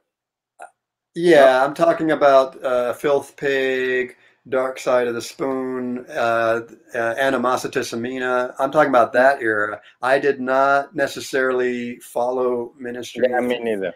Uh, yeah, a lot of people might say that, but you know, like in hindsight, you know, I've rediscovered the Filth Pig record and and I realized yeah. because I think the problem was that we all wanted uh, was um, too different. We, well, yeah, we were all expecting uh, Psalm 69 or uh, yeah. Psalm Psalm 70. That's what Al Al refers to it as. We were all expecting Psalm 70, and we didn't get it. So yeah, so yeah, but he he was doing something different, and um, it was great. Yes, yeah, we. I, now, well, now the, the, same like you, I rediscovered those albums, and you can feel that.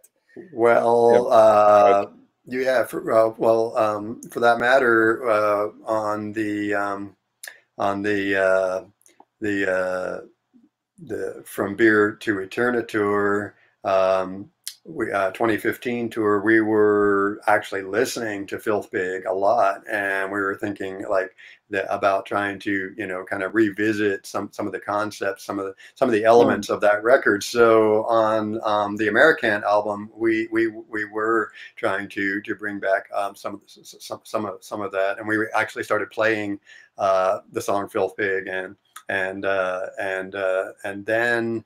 Uh, also, we brought back uh, Bad Blood from uh, yeah. from Dark Side of the Spoon, which was also a little gem that I kind of missed out on uh, because um, that that album uh, I was expecting something different as well, and um, and uh, and so uh, Animositisomina, you know, something I didn't quite know what where he was going, but when I saw Mole, something said this record. Uh, I need to get it, and I did. I ordered it right away, and something told me that that I would be happy, and and I was, and it did feel like uh, uh, like Psalm 70 maybe finally. So yeah. Uh, so then Tommy Victor's riffing out on it, and mm-hmm. um, and so uh, yeah, so you know they offered me. Uh, well, first, you know, Raven just said heads up. You know, this was in uh, the, like late summer of 2005. And to be honest, you know, heads up in the music industry doesn't pay your bills, you know. so I kind of yeah. forgot. I kind of forgot about it. And then that uh, Christmas, like literally the day after Christmas, he calls me and he starts reading off tour dates and I'm trying to write them down and I'm like, what the fuck is going on here, dude? I'm running out of paper. this is like six months of touring. I, I, don't know. You know, I, I had um, two children, I had two young children um, and uh, I wasn't sure if I was. So this was kind of another level of touring for you? Well, no, but um, when I did Fear Factory, I had uh, my my first daughter was uh, seven months old, and then we had mm. Uh, my second daughter during the, the Fear Factory years. Um, but but um, but when uh, ministry uh, offered me the job, they were toddlers, and they're a little bit harder to uh, to keep up with than, ah, okay. than, than babies. So yeah, I wasn't sure if I could just take six months because yeah. uh, it was there was no time in between. There was no like breaks. Like with Fear Factory, after each tour, let's say six weeks, um, I would be home for a period of time. Maybe sometimes only a few days or a week, sometimes a couple of weeks. But I had to time um, to to see to my children to see yeah. my children. Yes, this was six months, no breaks. This was you walk out the door and you don't come home for six months. So that's hard to do with yeah. with, with young toddlers. That, that, you know, so that that was not an easy um, decision to make. But uh, this was also, you know, if you look at, you know, uh, after working with Killing Joke, Prong, and Fear Factory, um, ministry just seemed like a logical progression. I mean, you know. Mm uh, so uh, ultimately, um, it was quite a struggle. Um, uh, in fact, initially I did say no because uh, it was just you know a bit too much. But then they offered it to me again. I was like, you just don't turn ministry down twice, and uh, it just felt like this was the thing that I needed to do, and it was going to be hard, but I was going to do it, and I did. And so yes, it was not easy, um, and this was. A lot of work. I had not only to, to learn almost all of the uh, what was the Rio Grande Blood record, um, yeah. but I also had to learn you know all of the uh, other material. Um, uh, how was the how was the process? Was better than with Fear Factory? It like, was much more labor intensive and much more stressful um, because uh, well, first of all, the working environment. We were in some old warehouse out in the desert. It smelled. Uh, it was horrible. Um, it was just like unbearable. Um, yeah, Raven brought some stray dog in that was living there, and it was the place was haunted. You know, it was just like you know, it, it, was a really horrific uh, environment to work in. But we were there for four weeks. Um, yeah, but I uh, mean, you you have um, I don't know, patches, samplers. Okay, so so prior to technical to the, stuff. Prior to the, prior to the actual tour rehearsals, which were four weeks, I flew out to uh, Texas, and uh, and uh, Al Al picked me up uh, at the airport, and um, and uh, we. Um, began working on uh, how we were going to, you know, to do this because um, uh, he and Paul Barker had parted ways and split, you know, uh, a lot of the equipment up. And so really all I had to go on were some boxes of old zip disks and floppy disks, uh, no guidance. Um, really just uh, just had to start sort of dig through these boxes and see what I could find. Um, and the reason that they really wanted me on board was because I was a master uh, on the Akai samplers. That was all I really used um, throughout my career. And it was, you know, a prerequisite for the job. They're like, you know, you're going to have to, you know, use these no, Akais and you're going to have to figure this shit out and you know once again i'm i'm the guy for the for the job that's the kind of work i do you know so here's the thing and um and that is that by this time, you know, uh, 2006, uh, things were changing. Nobody played live samples anymore. You know, by now people were using, um, you know, Tascams and ADATs and things like that uh, to play back uh, you know backing um, tracks. yes uh, and but ministry was not one of those bands. So um, uh, the akais were kind of by then out of production. Um, we had to get on ebay and buy as many of them as we could find. We had stacks and stacks. I'll show you pictures. We had like maybe 10 or 12 akai s5000s uh, at wow. one point yeah, um, and uh, we had uh, you know backup rigs, uh, um, backup samplers, and and multiple rigs that you know sometimes would have to ship separately to, to be able to go around the world. You know, it was very you know um, you know um, you know uh, uh, uh, uh, labor intensive and, and costs a lot of money. You know, we shipping these giant racks of samplers, and so yeah. um, it was kind of the the tail end of that type of technology but ministry was very old school and so that's what we did. I was old school so yeah so um, the only real major difference was that yes um, we were using clicks. Now not click tracks because we weren't playing to tracks. It's what uh, i would call click loops um, where um, you would push down a key and it would loop the click at the particular tempo of the song. And um, uh, I was able to, you know, implement um, on the the uh, S5000 uh, a method of being able to just push the key down once, and it would continue to loop the click until I hit the key again. But prior to that, with some of the earlier Akai models, couldn't do that. So what they did was they would stick a little matchbook or maybe an old floppy disk in there to wedge the key down um, no. for the for the duration of the song. Yeah, and I, I, I just figured that out on my own. I'm like, how did they do it? And then I found these little matchbooks and old floppy disks. I'm like, what, what, what are these doing in this box? I'm like, oh, I know what they're doing. They're using it to hold the key down, to, to hold the click key down. And so I had, that's crazy. Uh, I had found some maps. I had found some some of the maps uh, of the of the uh, other material, Uh, but on the on the uh, on the Rio Grande stuff, uh, it, it, was all up to me to, to map and program. Uh, but I did have the Pro Tools sessions and uh, an assistant engineer to help me with that. So this was uh, a lot easier than say back in the Fear Factory days where I was on my own well, getting everything. Take in. this. yes, yeah, yeah. So, um, so yeah, so uh, so Al and I and the engineer uh, worked in his home studio, uh, archiving and collecting, um, and also subsequently, uh, you know, the Revolting Cocks were supporting ministry on this tour, so they were also having to dig through and find all of the Revolting Cocks stuff, and for that. Um, uh, a gentleman named uh, Clayton Worbeck was was was on keyboards, and he was there during some of the time that I was there and we overlapped a bit and got to to, to, to meet each other and uh, work together.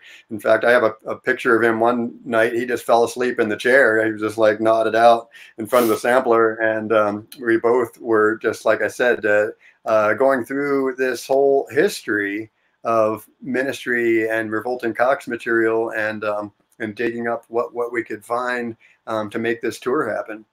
And then uh, uh, I spent most of that time uh, preparing the uh, Rio Grande uh, songs. We were going to be performing most of that record. And like I said, at this point, I was able to kind of model my maps after some of the maps that I was finding. But I remember one thing that that, that really cost me a lot of time and, and trouble was that um, some keyboards call middle C, C3, some call it C4. And so what, what I call C1 on some keyboards is called C0. So they had used, yeah, they had used Roland controllers and um, they subsequently. the brand?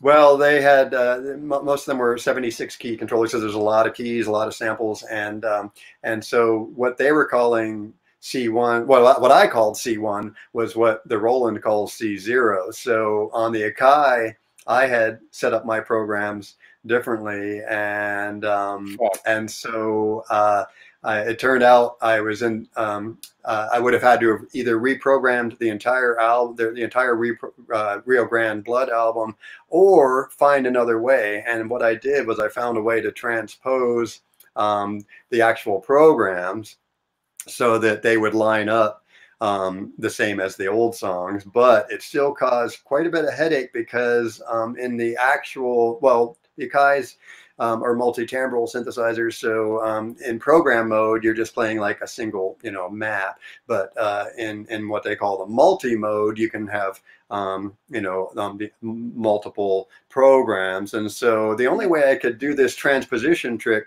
was in multi-mode. So whenever I jump back to program mode, the keyboard was not transposed. So I'd have to use uh, another technique. I would have to transpose the actual keyboard and, and trying to keep track of all that was a real nightmare. Um, but, yeah, uh, I but, but, but, I did. But so anyway, um, I did a lot of uh, pre-production with Al and then came back out for four weeks of intensive uh, rehearsals. Um, the lineup was incredible. We had Joey Jordison on drums.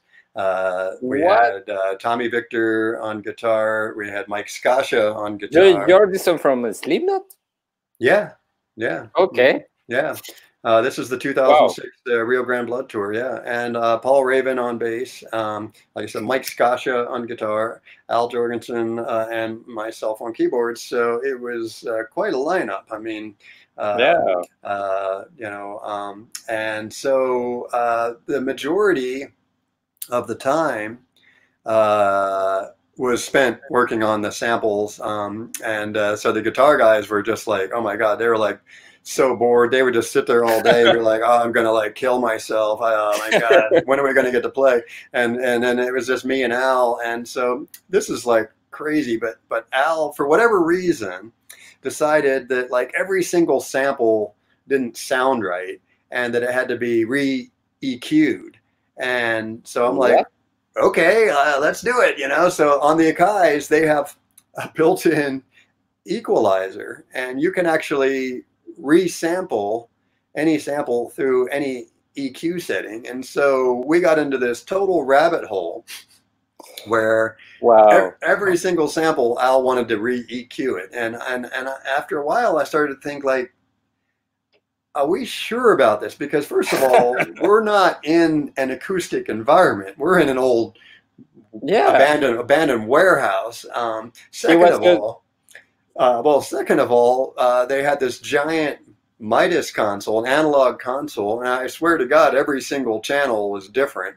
And then he had a guy, he had a guy with a laptop with a spectrum analyzer running around this warehouse with a spectrum analyzer, um, looking at, at, at, at, what, what was coming in um, from, from all these samples. And I started to go like, wait a minute, we're like totally chasing our tails here because by the time I send a sample through that Midas, and by the time it bounces around in this warehouse uh, and gets Which, read onto a spectrum analyzer, who knows what's happening, right? But hey, he's Al Jourgensen, right? So what am I going to do? So I just kept on doing it. And here's here's a funny story: is that uh, each time you resample the, the sample, you, you, lose any of the frequencies that were EQ'd. And the thing, you, you just start stomping on this sample until it becomes so degraded, it's almost yeah. unusable. And so it was like multiple times of doing this. So uh, what would happen is uh, he would finally say like, okay, let's do it again. Let's do it again. And, and so what I would do is, um, I would just go back to the original sample and play it. And go, oh yeah, that's it. That's, perfect. that's so, perfect. yeah. So so uh, uh, once we got into actually, you know, uh, rehearsing, uh, it didn't take long for for them to go, something's not right here because um, like you're not quite in time. I'm like, well, what do you mean? You know, like I'm I think it's pretty good. And they're like, no, nah, no, it's, it's not, you know, I'm like, wow, shit. So it turns out like we're thinking by, you know, cause I wasn't using any kind of in-ear system yet, and um, I didn't actually hear these ah, clicks. The I was just yeah, well, the clicks. I was just sending the clicks to Joey, and he would drum to them. And so, if you think about it, by the time the click gets yeah. to him and he plays the drums, and by the time I listen to the drums, there's a little delay. Yeah. yeah. So, so they were like, "Have you ever used in ears?" I'm like, "No." I'm like, "Well, let's get you a pair." They went down to Sam Ash and got me a, a little pair of in ears um, which I used for 14 years, I, I might add.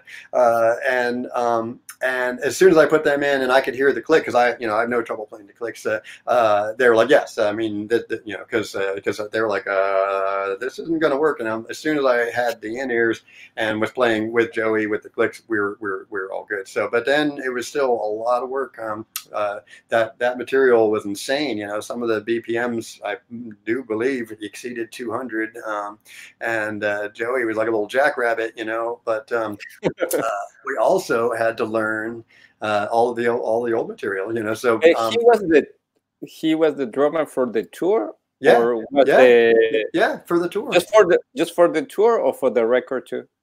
He did not drum on the record. It was mostly programmed, but I think they did have.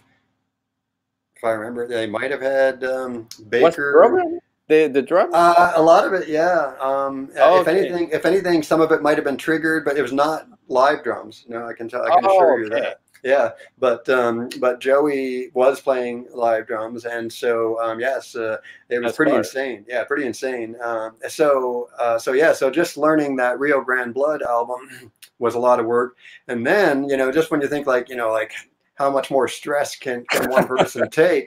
They're like, now you got to play the old shit, you know? And I was oh, like, fuck, you know? So yeah, so I had to like quickly learn like Just One Fix and New World Order, and uh, and and and it all came to a head. This was like in the final the final days, keeping in mind that uh, this tour was was happening and uh, there was no way out. And I'm, in fact, if you had said to me, if you'd have said, "Look, if you'd have given me some kind of dignified way out, said, you know, here you go, JB. Here's here's your one time get out of jail free card. I might have taken it because there was that that much stress, you know. But I'm like, I'm I'm in it to win it at this point. So I remember feeling that uh, I use the analogy sometimes, uh, feeling like a like a, a pilot um, uh, you know, I, I guess now uh, we can't talk about 747s much anymore. There still are some of them out there, but you know, uh, uh, I remember thinking that um, it was kind of like piloting a 747. I felt like that kind of responsibility, like I had hundreds of of, of, of lives. The, the, I, you know, sure. you know, I was responsible to get this this tour off the ground and back down. You know, you know, each show, you know, getting it off the ground, getting it back down safely because um, with, without me, it, it, wasn't going to happen because you know they were totally dependent upon mm-hmm. um, the samples to play along to, and and and for that matter, the click. Uh, so in that moment, cycles. there were no backing tracks no backing tracks in this in this in this time. This was all done live. So this was the traditional ministry method, using the Akai samplers, trigger live, um, using um, click loops. So um, so I would push down uh, a note on the keyboard. It would start a loop in our ears. Me and Joey would hear it, and we would play the song to the click. But keeping in mind, it was not a track. It was not a click track. It was a loop no. on a sampler. If you if you push the key in the wrong moment, yes, uh, yeah, and there was a few times when like the clicks went haywire and we were like what the fuck? And i'd have to like stop it and start it again mid song you know? Um, and then there was other times uh, you know when you think about it that uh, I, you know you have to trigger the samples at the exact right point because some of them some of these dialogue samples were like you know maybe over a minute long right? And so yeah. if you started a fraction of a second early or a fraction of a second late it was going to drift. So um, yeah. so yeah, so it was imperative that every sample was triggered exactly on time, and uh, and uh, and so um, yeah. That, and you never have electricity issues. Uh, we tried to, uh, you know, um, have contingency plans. We might have tried some battery backup units, you know, some, mm. uh, uh, but um, we also had uh, redundancy in that we had two of everything. So I had two keyboards, oh, okay. I had two racks of samplers because you couldn't do the whole show on one sampler. There wasn't enough memory. Even with all the memory maxed out, it took two samplers um, to do the show, and therefore we needed to have two backups. So there was four samplers that was required um, for, for, for a show. But we are also using the Akais to trigger the drum samples. So um, one was quite sufficient for that, but we needed a backup as well. So there was six Akais operational on stage. And of course, we needed a few spares because you just never knew these things were getting uh, a little bit more temperamental. But I got to say, uh, still extremely reliable and rugged. Um, mm-hmm. uh, uh, the Akais, um, they, they, um, uh, you know, one time in the prong days, uh, I was having problems with mine turning off and on in mid show.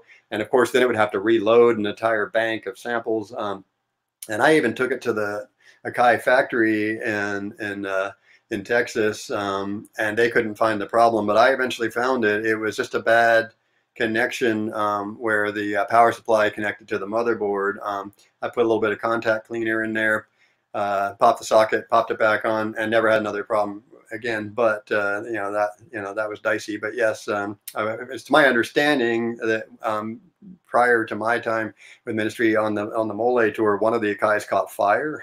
apparently, yeah. Um, so anyway, I had uh, backup units, but uh, I remember my first show. It was in Houston. It was like a like a small arena. Um, this was a big show, uh, and um, uh, I know that um, you know I was feeling the pressure. Um, you know, I had a lot of stuff in my head. You know, I had to at this point memorize every map of every song. So when I learned the songs, I would put a strip of tape on the keyboard, right? And then I would kind of like make little indicators of what sample. Uh, I had like a little kind of coding system, of course. Mm. You know, C CK or CLK was click, and then you know bass loop one, bass loop two, uh, you know kick sample, you know little, you know, and like you know vocal one, vocal two, vocal three, because a lot of the vocal effects had to be triggered via sample, the distorted vocals. Um, uh, so people don't understand a lot of that. That you know. Um, Can you explain that a little? bit? I can what? send you. Uh, in, in, fact, uh, um, there's a, really nice feature. By uh, Jim Van Curry of In the Loop magazine, uh, where he um, he uh, he um, I, I explain ah, yeah, yeah, I explain yeah, I explain how it's done, and uh, and so you know um, yeah, so a lot of people uh, yes, like a uh, trigger for effect. What's that? It's like you trigger an effect with the yeah yeah um like okay. let's say the the vocal like al sings the vocal and then the delay part is actually me holding down the sample like in just one fix he goes just one fix and then i go one fix one fix, fix one, fix, fix. just uh, one, fix, yeah. one fix one fix so there's a lot of that kind of stuff going on and people have no idea you know they're like what the hell is jb even doing out there you know, like, um and so uh yes it's all very precise and it was all um, mm. live and um and so um, so yeah so it was a lot of pressure. Um, like i said that first show um, i actually you know really had to get into my zone. Um, i took some spare samplers and a spare keyboard to a spare room uh, where i was able to sit um, and literally you know kind of like go over the show. Um, uh, you know even after sound check i was in that room uh, going over the show and uh, just uh, just keeping it you know, fresh in my mind and also just trying to kind of calm my nerves and just kind of, you know, just know that I needed to deliver um, and that uh, I needed to kind of, you know, give it everything that I had. And so um, we did. That show went off without um, any problems. That was an amazing show. Um, and uh, I think we still had one or two before we were able to kind of really kind of, you know, relax a little bit and go like, okay, we got this. But yeah, it was uh, it was a lot of work, and um, I got to say, um, uh, a lot of stress. Um, they said the guy before me, I forget uh, uh, what they said his name was, I, I, um, but he, they said that he, he, he had like lost 20 pounds or something, you know, because of all the stress that was involved. What? yeah. and they had um, stories, uh, like Al said uh, on the Mole tour, uh, where uh, at least two band members uh, bailed days just days prior to the tour um, uh, for for a variety of reasons. And so he had to scramble and find a bass player or, or, or guitar players at the last minute you know? Um, so yeah that yeah. So we we hung in there on the rio grande tour. Uh, like i said the last song we we learned was so what? And i just remember al trying to explain it to me. He's like, you got to feel it. You just got to feel it. It's like the, you know, because he's like Cuban, right? He's like, it's just like, he's trying to explain. Yeah, he's born in Cuba. So, I mean, he's born there. He, he wasn't raised there. But anyway, oh, uh, yeah, he, he, he was trying to explain, you know, how that kind of like, that kind of vibe of the, of the rhythm. And, and Joey was like, at this point, you know, like, you know, we're both just, we had these notebooks and we're just like writing everything down and, and Al was like, you know, no, no, and then you know, so each time, you know, we would just kind of go with what he said, and and and uh, and uh, I remember one night Joey's like, well, wait, you you said to do it this way, and Al's like, I I wrote this song, you do it the way I tell you. I was like, oh my god, I, I thought he was going to quit the band, and and we were going to have no drummer, and it was like, you know, we only had like two days uh, before the tour started. Oh, it was it was crazy. It was absolutely crazy. Wow, that's a that's some amazing stories yeah, I, am full of them. Yeah, so uh, I guess uh, you so know. You're, you're using the Akai or now? Well, okay, so you know, um, uh, what you have to understand was when I came on board uh, for the Rio Grande tour, uh, there was also going to be a subsequent uh, tour for what was to be called the Last Sucker album, which was supposed to be uh, the the farewell to ministry. So I only signed up for two tours. They were in 06 and 08. So we figured we would just ride out uh, in the sunset with the Akais because uh, that's the only way we had, and there was you know like not a lot of other ways to go. Um, at least not with the time and resources uh, that we had. True. But like many other farewell tours, this turned out to not be Ministry's farewell. So, uh, in sometime in uh, 2011, I got a phone call. They were getting the band back together. So uh, I flew out to Texas, and this was um, what was called the Relapse album and um, and uh, and um, that's when uh, we had to have a very serious conversation about the Akais and the future of ministry. Um, and they asked me, they said, "Look, we're going to Russia. um, on this tour? Uh, like, are these Akais going to make it? And, and, and, and like I said, it, it was, uh, they were in big flight cases, you know, the, the you know, the, uh, uh, the, the, the um, rack and rack they're called so there's like two inches of foam inside you know because so these things can you know can can essentially uh, travel uh, safely so they're they're they're they're large and heavy racks um, yeah. filled filled with samplers so subsequently it cost a, a small fortune to yeah. ship these things and we needed uh, multiple uh, systems so not only did we need backups for redundancy on stage, but we needed to have entire other systems that could travel and ship via cargo um, ahead of time. So um, it had to be coordinated. So like, okay, so this rack that you're using here is not going to be the rack you're using in Europe, you know, because that that rack already shipped, you know, and then uh, and then uh, when we come back to the U.S., you'll be using this system, you know. So and each one had backup systems, you know, in it. So uh, by then, I mean, it was like tens of thousands of dollars that they were spending yeah. on cargo and shipping, and um, and not to mention that these things were getting older and older, um, still holding up, but you know, how much longer can we go? And and like I said, when I first joined, this this was already, you know, uh, uh, like outdated technology. Hmm. And so uh, I sometimes use the expression that I was the last of the Mohicans. uh, so, so yeah, so uh, on the 2012 tour, they kind of, you know, said to me, is there any other way? And I was like, well, nobody, nobody manufactures hardware samplers anymore. The only ones that you could even get were like drum samplers. And I was like, that's just simply not going to work. Um, so so yeah, so we, we hung in there with the Akais, and then um, uh, we didn't know again if ministry were to continue. Um, uh, so then this would have been um, 2013 and 14, and once again, by the end of 2014, I got a phone call from Al, and he's like, "We're getting the band back together," and this was from what was called the "From Beer to Eternity" album and it was going to be traveling to uh, Australia, South Africa, South America. This was a, a round the world tour, and this time uh, there was no taking the Akais. It was like we cannot do it. So you're going to have to think of something else. So so um, uh, after exhausting all you know uh, ideas of of a hardware based sampler, um, I had to succumb to the reality of using laptops on stage.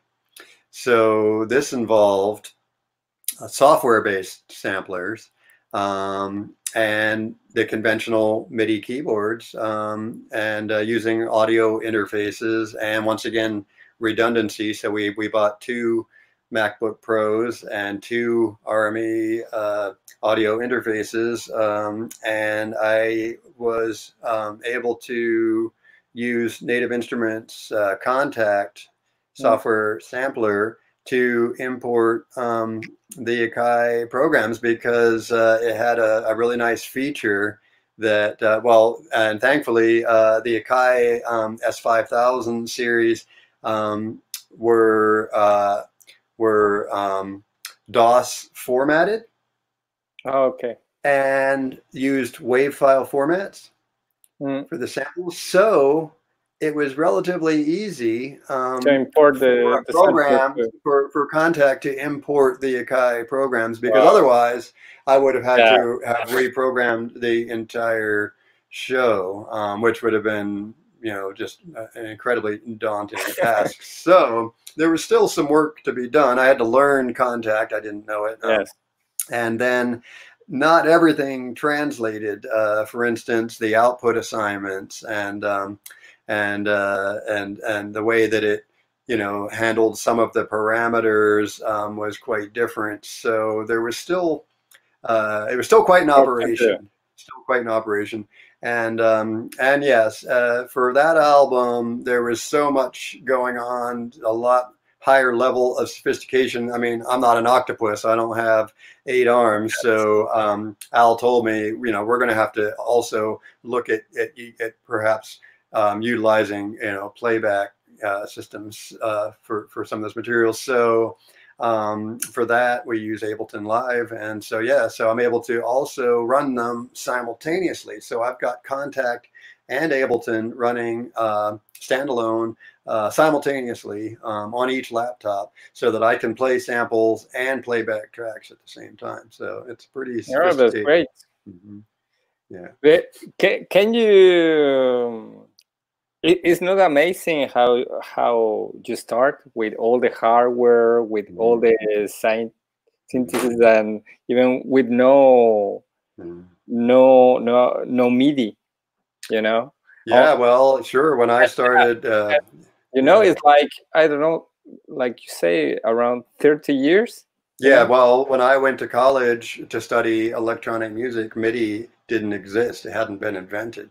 Uh, it was halfway through my college career that we um, that we. Uh, uh, it's kind had, of impressive. The you know the technology. Uh, yeah, I mean we were using control voltage and gate interfaces um, and trying to you know connect uh, instruments that weren't meant to be connected. You know, different manufacturers had different uh, standards, you know. Um, so MIDI uh, uh, was, uh, you know, a universal uh, invention that allowed us to be able to do exactly that, to be able to connect um, devices by different manufacturers. That's what it was meant to do. And um, I remember some of my computer friends uh, immediately saying, "This isn't fast enough. This isn't fast enough. This is a serial bus it's not the baud rate or whatever the you know it's just not uh, it's not that fast. She's like you know this this is not acceptable, and I was like well fuck I don't know much about that, but you know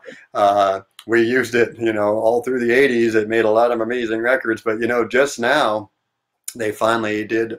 Uh, announce that there's going to be something called MIDI 2.0. It's going to be a, a faster, more modern uh, format uh, of MIDI, you know, some 30, 35 uh, yeah, years, no, years later. Yeah, but um, it's been quite a run, and um, and uh, you know, uh, yeah, like I said, uh, um, now everything is done. You know, most everything is done with plugins and software, and um, you know, because for a long time we had to you know, have, you know, drum machines, multi-track recorders, computers, interfaces, synthesizers, yeah. uh, effects units, um, and and patch bays and MIDI patch everything, bays. Everything and, was separated. Yeah, yeah and, and, very uh, expensive. So yeah, yeah, so expensive. Uh, no, I remember when when I started programming, mm-hmm. I used to program with a Kawai, Kawai uh, Q80 I think. Uh, could have been, yeah. The, the sequencer, yes, the sequencer. Yeah, a sequencer with a screen like this. Yeah, a little LCD. It's like it's like mm-hmm. crazy. Yeah. You know. And then yeah. I discover Cubase. Mm-hmm but I think was the one of the first version, and it's so it changed your life when you mm-hmm. can actually program mm-hmm. change from this screen to to a wider screen and yeah. be able to move the note and see the note. Yeah. Because when when you program with a LCD mm-hmm. screen, you can mm-hmm. actually see the see the note. You can just yeah. uh, guess so, that. Yeah. So uh, so um, when I was finishing up my uh, college uh, education, um, we were still using. Um, well, the, the, the, the, college didn't really have anything um, that we could use. Uh, we all had to pool our equipment together. Um, uh, my colleague Charlie Clouser uh, was was uh, was there. from yeah. yeah, yeah. We, we went to college together. Um, uh, and uh, he was, I was 18, he was 19 when we, when we first met and uh, we were working in the electronic music program. Uh, he bought the, one of the very first uh, Ensoniq Mirages, which was a really big deal. Um, and uh, um, I bought a Memory Moog um, refurbished. Wow from a company up in New York that was uh, selling them, and uh, we kind of combined forces and uh, and uh, and so yeah, um, one of our friends had a Commodore 64 with the very first MIDI interface, a sequential circuits um, MIDI interface, and we were um, we were doing uh, computer-based sequencing in college. But uh, let me tell you this: um, the Apple Macintosh hadn't been invented yet. wow! there was pre-Mac. So um, my final year, uh, the Macintosh came out, but this was like for word processing. Uh, they had them over at the library. Sure. Nobody, there was no music software or interfaces. It wasn't until we had graduated and consequently, uh, Charlie um, got me a job at Sam Ash Music where he was working um, in, in Manhattan and we both worked there together and he had uh, purchased a Mac and was using it and then he wanted to upgrade so I bought his Mac uh, uh, that had all the software in it and the interface um, uh, and so my first computer was Charlie Clouser's uh, um, uh, uh, uh, Apple Mac Plus. Um, wow. And he bought a turbo, like like a turbocharged one that had like maybe. And in that time, I I correct me if I'm wrong, but there was already a MIDI interface integrated or, or not? Yeah, yeah, they had um, uh, a company called Opcode uh, was making MIDI interfaces for the Mac, and they also had their own sequencer called 2.5, which was uh, an amazing program, but it, it, it, wasn't quite ready yet. It, uh, okay. When you when you, it was a pattern-based sequencer, which was amazing, um, but um, when you try to string patterns together, there was like a little lag no. when it went from one pattern to the next, so it was almost like useless. But they quickly well, actually, not quickly. Uh, before they could get that the kinks out, um, a, a, a, company that had been around already called Passport had uh, a, a pattern-based sequencer called uh, Master Tracks Pro, and that was the one that I really first used, and um, it was graphics-based and and pattern-based, and uh, an amazing program. Um, but uh, uh, Opcode finally got the kinks out and released um, what was called uh, Vision. And it took kind of what Passport was doing and and also what what Sequencer 2.5 was doing and um, and put it all together in a very uh, um, comprehensive program, uh, like I said, called Vision, and that's what um, what really I started working on, and then um, there was a little program called Sound Tools that was a two-track editing program, quite clever uh, that you could use to kind of you know do editing and things, but uh, it quickly um, expanded to, to, to, more than two track. I think four tracks, and then on, onward up, and um, and so then was uh, eventually uh, called Pro Tools. So uh, Opcode had to up their game um, to compete with Pro Tools, and they um, came out with what's called Studio Vision, which also offered uh, digital audio and playback, multi-channel digital audio and playback. And this, by by this time, we're talking about going into the the, the mid '90s. It was still pretty uh, cutting edge technology, a bit pricey, on the interfaces and things. But uh, I remember buying the last audio media 2 card uh, and putting it in um, a refurbed uh, Apple Mac Quadra 950. This was like around 95, 96. And, you know, like you said, this stuff's expensive. Um, I didn't have a lot of money to throw around, but um, but you have to kind of, you know, keep up. So uh, I, I got I got a system that I was running from the mid 90s into the late 90s uh, running Studio Vision and then uh, Opcode uh, abruptly went out of business. Um, and uh, it was like, you know, what am I going to do? So um, uh, one of the things about the Apple Macintosh is that um, they're expensive, you know, um, much more expensive yeah. than than PCs, and and for people in Europe, they were literally un, unaffordable because the apples had to be uh, exported. They were made in the U.S. or well, I mean, Apple's a U.S. company, whatever. Uh, for whatever reason, um, to buy in, in those days in the mid uh, to late '80s to buy um, an Apple Macintosh, if you lived in in Europe, uh, would have been like ten thousand dollars or something like yeah. that. And some of the newer Macs, the Mac 2s, were also in, in that price range of upwards of ten thousand dollars. So, and and these Akai samplers, uh, the the the sixteen bit ones, um, they were also to get them pretty much maxed out. Were in the five to ten thousand dollar price range. So, yeah, uh, they, they, they, quite quite quite an expensive yeah. uh, undertaking. But uh, for for um, for folks that you know couldn't couldn't afford um, the Apples, uh, they were buying the Atari STs, and the clever thing about them was they had MIDI built in. Uh, yeah, you, didn't need a MIDI interface. Yeah, and, I remember. Um, they had some very clever programs, and you mentioned Cubase, and um, uh, one of the programs that uh, that came out on the Atari uh, uh, um, was from a, German company called C-Lab, um, and I think it was called Creator or something like that. But they they also came out with what was called Notator, which was um, uh, a really amazing program that did sequencing and also could could do musical notation and print it. Um, so wow. it was uh, suddenly like we were always like the us Mac guys were like, oh, the Atari, that's like a toy, that's just for like kids play.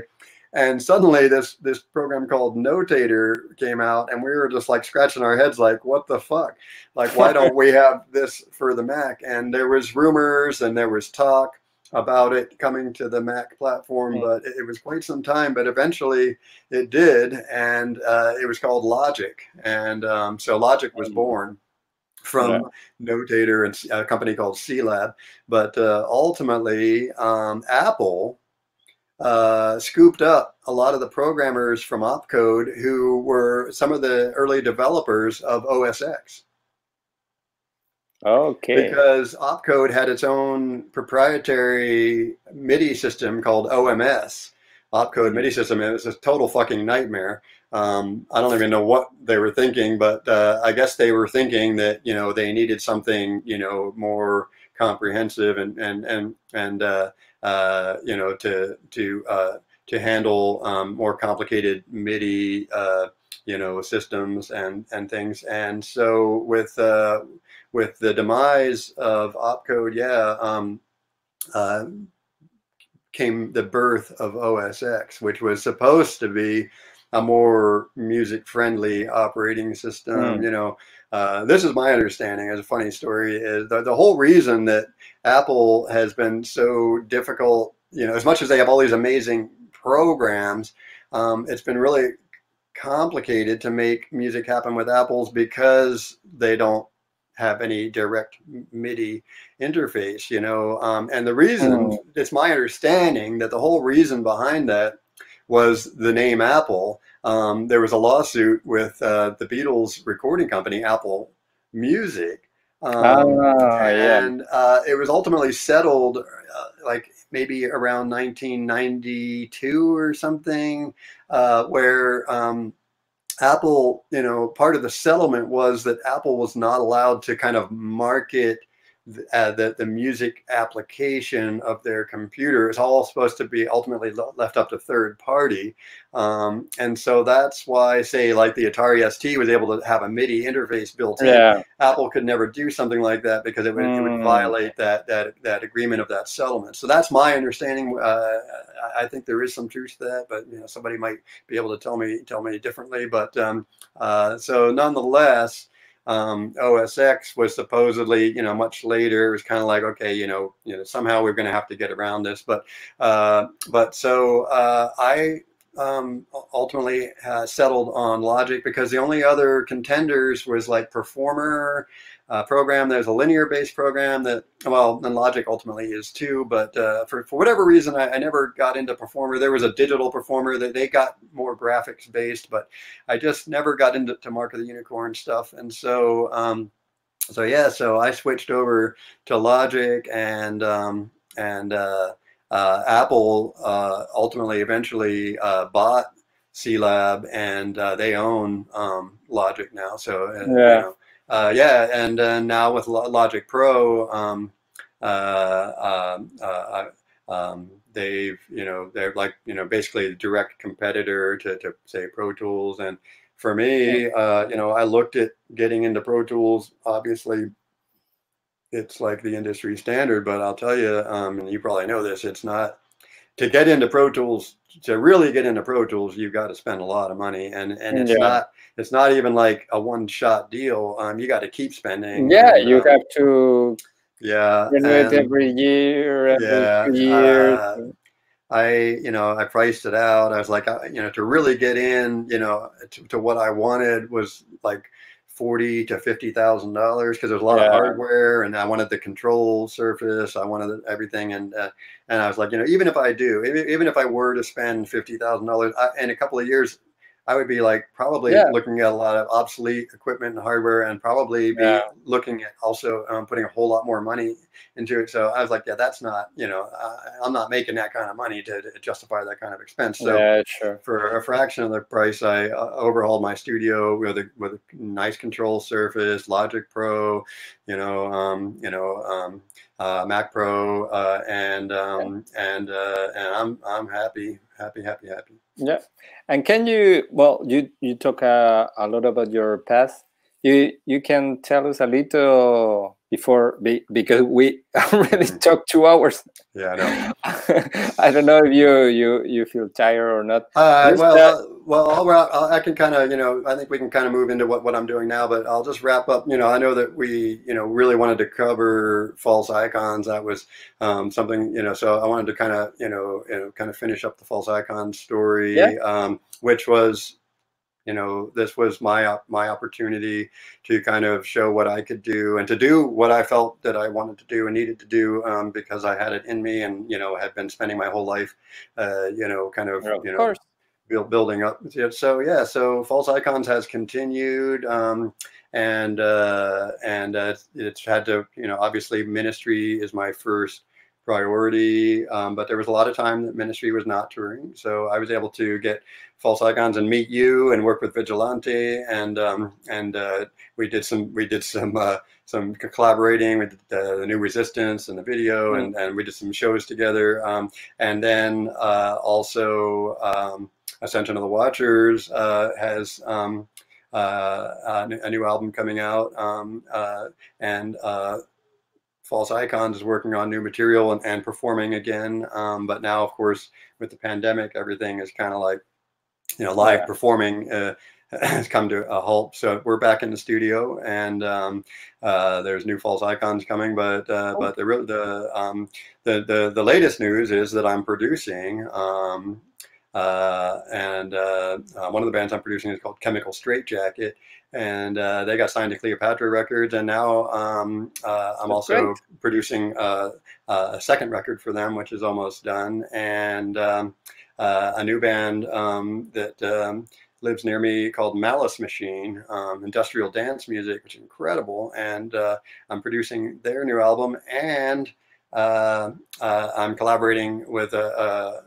uh, a group called Nukes, um, which features uh, Chris Connelly, En Esch, uh, Jim Marcus, David J. from Bauhaus, uh, myself, um, uh, a whole army of exciting, creative people. Um, That's awesome. Uh, yeah, so that uh, we just released our first um, single, "Death Sky," that I produced and mixed, and and uh, and then um, the other really really big news is that um, I'm releasing a solo album.